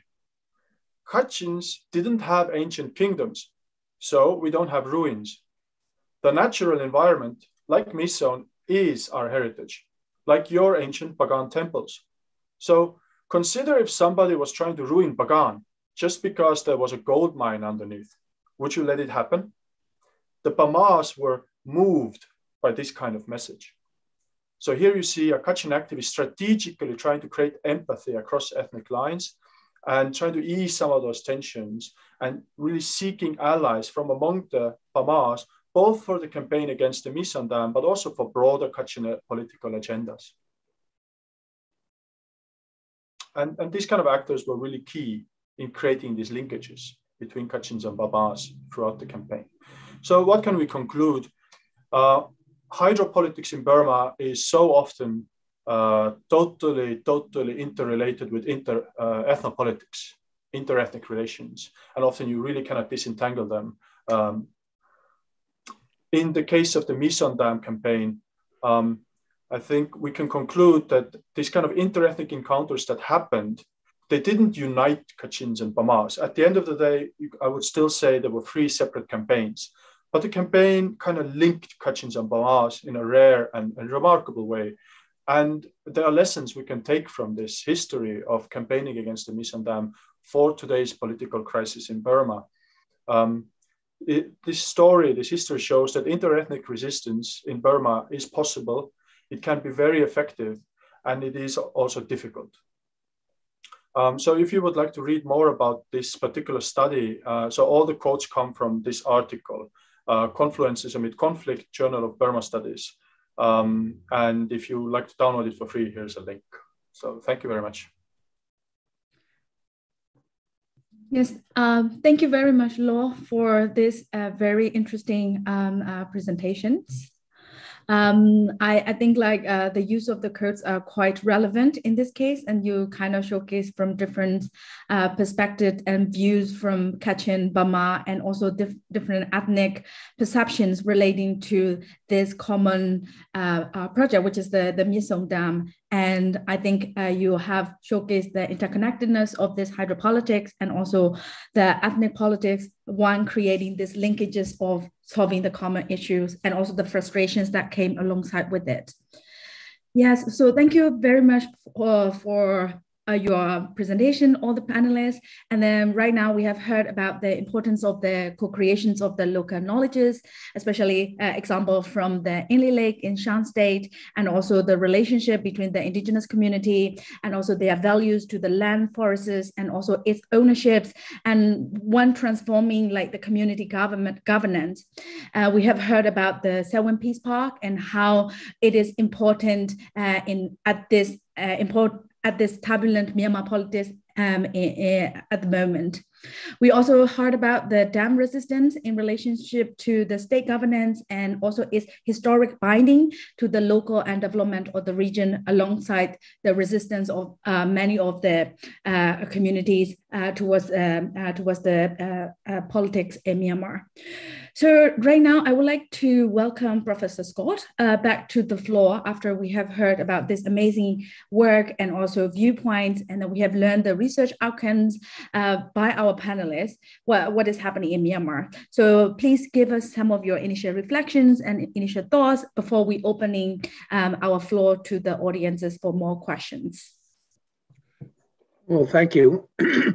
uh, mostly I just learned from these presentations. Uh, it was a kind of education on things I knew less about than I ought to know uh, in terms of Inlay Lake, um, the Thanlwin or Salween or Nu, depending on where you're looking at it. Um, uh, and also on the inter-ethnic collaboration um, uh, in opposition to the Myitsone, Myitsone Dam. I guess um, maybe I should first speak about the elephant in the room, uh, which is, of course, the coup and the Tatmadaw. Um, and it seems to me that everything about the future of, of Burma and its environment and uh, its ethnic groups and its concept of citizenship depends on the elimination of the Tatmadaw as the dictator of the country.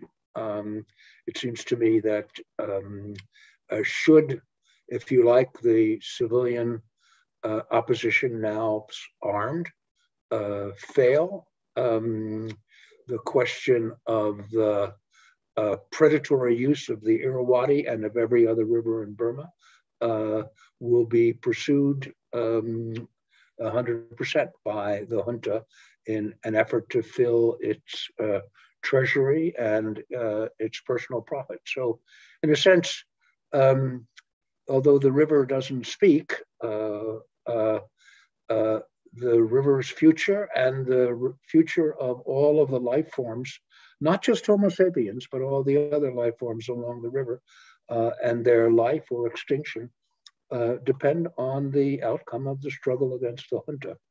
Um, the uh, this is particular a particular interest of mine, I suppose, um, that um, a, a, bunch of very uh, talented French geographers, I think working with the FAO, produced a, um, a study of the hydrology of the uh, Ayeyarwady River uh, that's extremely detailed. And we, of course, have a lot of local groups up and down the Irrawaddy who've done uh, samples of the riverine ecology um, uh, and what is in danger and what is not in danger.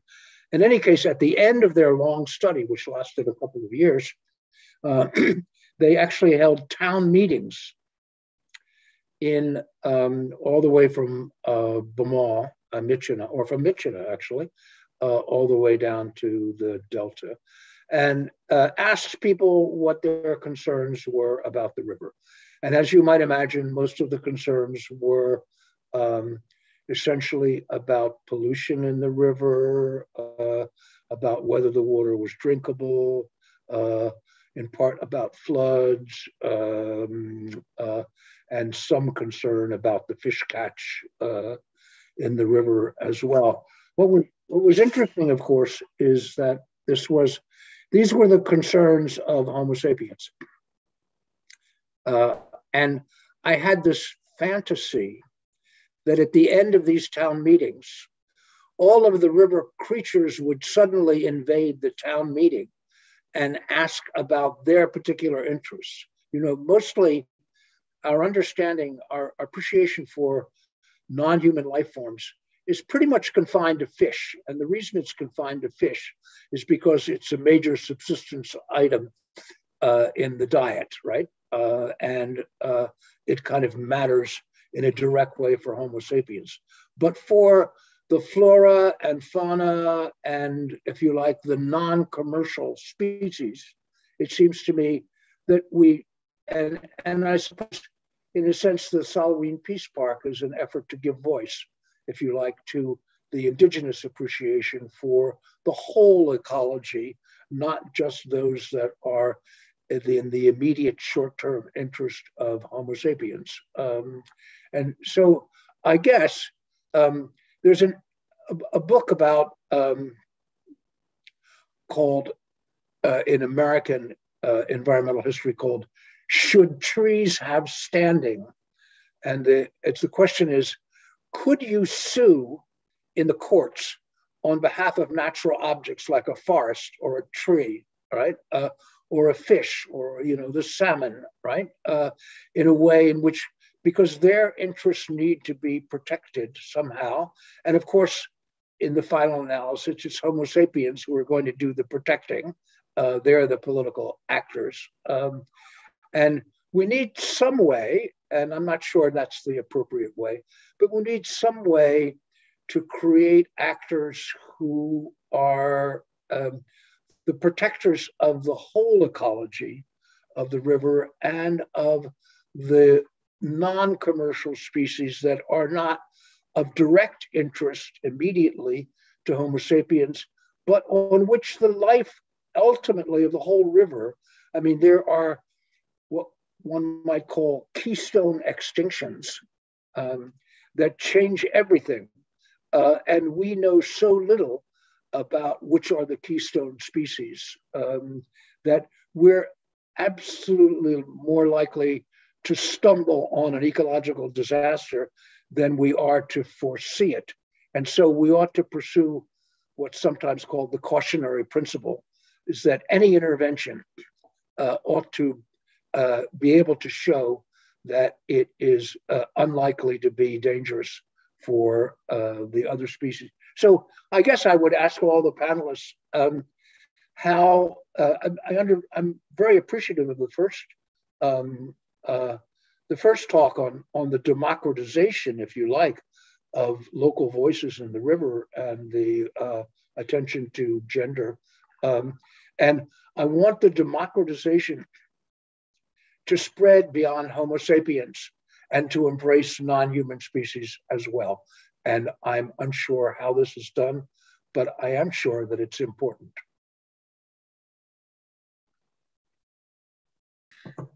Thank you very much for this extensive um, um, reflections and also linking it into the um, the uh, sorry, uh, local voices and also the need of local voices in transforming this um, um, urgent uh, political situations. So I would like to um, ask the panelists to answer the uh, questions that the professor has just posted and please go ahead and then uh, unmute yourself and then start answering these questions. Yeah.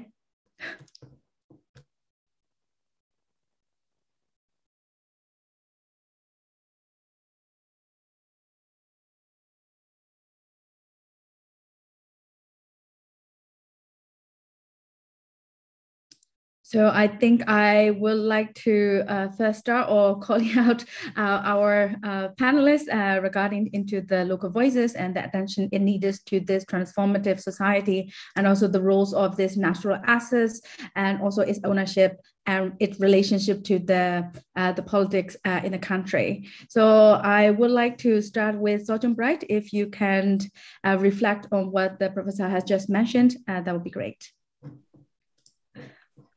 Uh, thank you, Mabai. Um, and thank you, uh, Professor, for reflecting on uh, on this discussion. Um, I think um, it is good that uh, you highlighted uh, the democratization of to non-human spe- uh, non-human you know uh, species. Like in the in in New Zealand, in New Zealand, you know, people are also like talking about you know the, the rise of the river you know, uh, be recognized uh, in the in the in the law and policy. So I think that kind of thing can also happen in in the Salween River. You know, uh, a river uh, have the right as a personhood.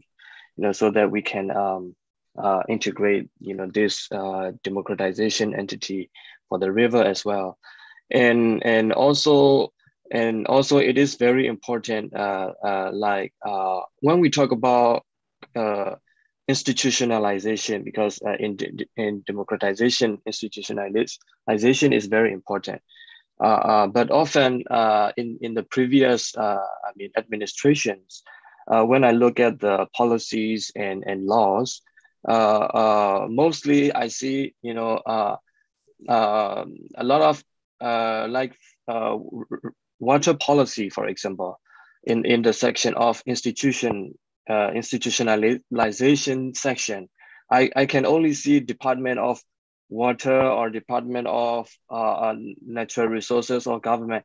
It, it's mostly government institution. I, I don't see any recognition on uh, uh, community institution, local institutions like we've been talking about, the community-based uh, resource governance, like Salween Peace Park and those things. I think this needs to be recognized in in in uh, in our future uh, democratization. When we talk about institution, it is not just government entities, but also uh, uh entities that are mobilized by the people, like the Salween Peace Park and others that will come out uh, hopefully very soon.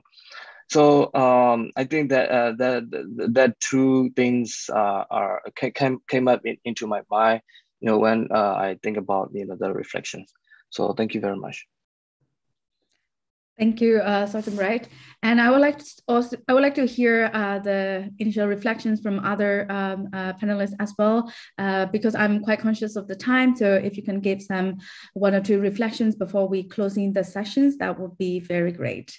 So now I think I will go to Kyungmee Kim, uh, if that's all right. Okay, well, thank you. And uh, yeah, I think it's it was also quite striking to see this anthropocentric uh, responses from the local communities when I was doing my field work in Myanmar, because they had very little uh, concerns about the local environment when it comes to comes to the dams. Actually, so they, I mean, one lady told me in a in a very straight face she doesn't care about the environment, she, but she cares about the Kachin people uh, which was um, yeah, which which was striking. And and then and then I also learned uh, more about the gold mining upstream that uh, took place for about ten years. Maybe the environment was already too uh, destroyed uh, in their knowledge that it maybe possessed no, no no more value to to preserve. I mean, this is a very pessimistic point of view, but but then yesterday I, I attended a talk uh, that was uh, a, a meeting of uh, Mekong environmental experts, and and uh, it was it was very interesting because, as you know, in, in Myanmar, the environmental threats by the dams is still very hypothetical because not none of these big dams have been built, right? So we we we, we need to understand the science, and this needs to also translated into the local like language i'm not talking about the burmese language but just to the context that the how local community can understand this impact on their daily life But then in, in the Mekong, when there are now many dams been built upstream and they actually have the uh, unprecedented level of uh, water scarcity downstream. And, the, and the, one of this Vietnamese uh, expert was very outspoken that the mangrove forest and the coastal erosions are caused by dams. That was just the striking uh, remarks. And I think I think we will probably see some of these iterations by the local communities uh, in, in Myanmar if uh, some of these environmental destructions um, worsen, uh, also by the man-made undertakings, but as well as the climate change and so on. So I think it's, I think, I think we may see the change uh, in the future because of the mounting uh, challenges and environmental uh, destruction. Well, I hope that doesn't come, but I, yeah, I'll, I would like to end here. Thank you. Thank you. Uh, thank you for this uh, remark and also reflections. Now I would like to uh, invite uh, Law uh, again uh, to reflect your initial thoughts on all things have said and discussed so far. Thanks. So I would like to make a rather obvious point that when we talk of the democratization encompassing non-humans, then of course it'll obviously still be humans who will kind of decide what are the objects in nature, what are the actual categories of things that exist, what is a river, what is a lake, what is a mountain.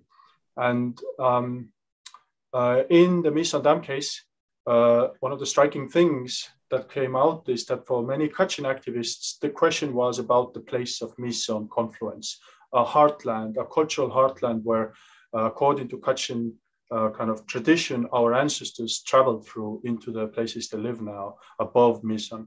And for Bamas and lowland Burmese, of course, the question was much more about the river. The last today was also mentioned the lifeblood of, of Bama people and Burma. Um, so even though it seems as if people are fighting for the same thing and against the same thing, actually they are uh, they have really different emphasis. So Kachins had to kind of save the Myitsone campaign and Bamas had saved the Irrawaddy campaign. Um, Yet uh, that uh, doesn't have to be um, a, a, point for pessimism. Uh, kind of discussing and learning about each other's concerns about the natural world can also be a place of learning about each other's nationalisms, concerns, politics, views, uh, visions for the future. Um, so one story that I didn't tell today, but is in my article, is about these Bama environmental scientists who went up to Myitsone, to Kachin land, uh, to do the environmental impact assessment. They were paid by the Chinese company, but they were very much Burmese nationalist people, and they were very much trying to find evidence uh, about uh, ecological value in this region. And inevitably, when they spent uh, weeks there doing field work, they hung out with a lot of Kachin villages. They met a lot of people. They realized how much Kachin people resented them as Bamas, and they learned a lot. And uh, very strikingly, in their environmental impact assessment, which was later leaked to the internet, and people, many of us have read it, and it was influential in uh, kind of convincing President Thein Sein to suspend the dam they have these amazing sentences about how Kachin cultural values surpass any extra money costs to uh, cancel this dam and push it upstream and build two smaller dams instead. And it was very striking to read Bama scientists, really generally anti-apolitical people, to make this kind of very ethno-political statements in favor of Kachins. So talking about this, the what is valuable in nature, the river or the Myitsone cultural heartland, whatnot, can be a place of, again, a kind of inter-ethnic learning. Yeah, thank you very much for this uh, reflections and also the very important uh, roles uh, of the um, uh, ethnopolitics in the hydropolitics as well in Myanmar. Now, last but not least, I would like to also hear the reflection from Matt Nang Won Lee, um, if yeah, uh, regarding uh, the discussion before we close the panel. Yes, thank you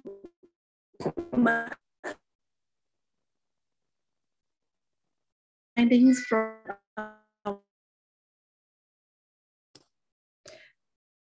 uh, it's very we can also close the video if um, um, I'm aware okay. that the connections in Myanmar is not uh, very stable at the moment. In fact, I'm free to Thailand already, but still the connection is still not good. I just arrived in Thailand. Yeah, okay, yeah. Based on the local people really put value on the water, especially Inlay Lake, because they really worry. worry. They, they also change. They they, they have uh, witnessed that the changes was um, too much compared to the last 15 years. So now they um, um, the local people they really want to conserve and they, they want to keep the uh, Inlay Lake to be clean and to be healthy as before. Now they really concerned because a lot of environmental changes, climate change, as well as the, uh, the water level and pollution of, um, of the lake. So now um, a lot of uh, project came in, especially UN project. They just came with their own idea and one year after one or two years and already gone and not really sustained. So now they really concerned about, they want to do by themselves. They know their own problem and they know how to solve it. But the problem is the, the policy maker not really support their idea. So I think because of the coup data, so I, we cannot do anything for now, but in the near future, I think if the local people, they really have their own, uh, their own recommendation, their own idea how to solve the problem. So in the future, we hope that it's going to be worked out. Yeah, thank you. Thank you. Thank you very much for uh, bringing in the uh, thoughts from the Inlay Lake and also the local issues that is happening there and its relationship to the current policy and also the how it can help in the political uh, policy making as well. So now I would like to bring back Stew uh, to uh, reflect on the uh, conversation as well as to close the panel for today. Thank you very much. Thank you, Pan Ei. Um, uh, thank you for all of that. I, I hope um, the audience who stuck with us uh, uh, appreciated that uh, half as much as I did. Uh, that was fascinating, and I really enjoyed uh, even working on putting this together. I didn't really see some of the the connections and, and overlaps and themes until you you were all speaking. There's there's a lot there. Um, I guess as as we close, I do want to acknowledge a, a couple things um, to finish up. Um, it's um, April 21st. Uh, this is a, a, great time to be hosting an event on Myanmar. This is an anniversary of the Blue Shirt campaign, um, bringing awareness to the over 3,000 uh, illicitly detained political prisoners in Myanmar. So I encourage uh, everyone to, to uh, look up a, a, bit about that uh, campaign and U Win Tin. And I also uh, would like to invite Professor Scott to speak and maybe give an introduction uh, uh, give some sort of background on, on Mutual Aid Myanmar and some of the uh, work you've been doing in Myanmar uh, outside of academia. Just very briefly, I, we set up Mutual Aid Myanmar with um, Tun Myint, uh, who's a professor at Carleton in the United States, um, and um, Ajahn Chayan at Chiang Mai University, who many of you know. Um, and the effort originally, um, we raised nearly a million dollars, which was dedicated to the um, uh, the subsistence help uh, to striking uh, public sector workers, doctors, teachers, uh, nurses, and so on, who refused to work uh, with the junta. And that money has been kind of delivered, if you like, on the street very carefully through trusted intermediaries. And we're grateful to the extraordinary response that we had. We also were able to raise money um, uh, uh, from the actually uh, Open Society Foundation, uh, another half million dollars that was devoted to Burmese intellectuals who fled to Thailand, to Mae Sot and uh, Chiang Mai, uh, and who could be incorporated in the programs of Chiang Mai University, thanks to the good work of Ajahn uh, Chayan. So I understand that there are lots of other uh, aid groups uh, helping the resistance in Burma, um, and this is not the only one. But if you uh, are inclined to make a contribution, Mutual Aid Myanmar, uh, one word, uh, .org uh, is the way to make a connection uh, with that uh, website and donation location. So thank you. I think we all um, somehow, as I said, a lot of the future of Burmese rivers and the Burmese environment depends on the outcome of this existential struggle.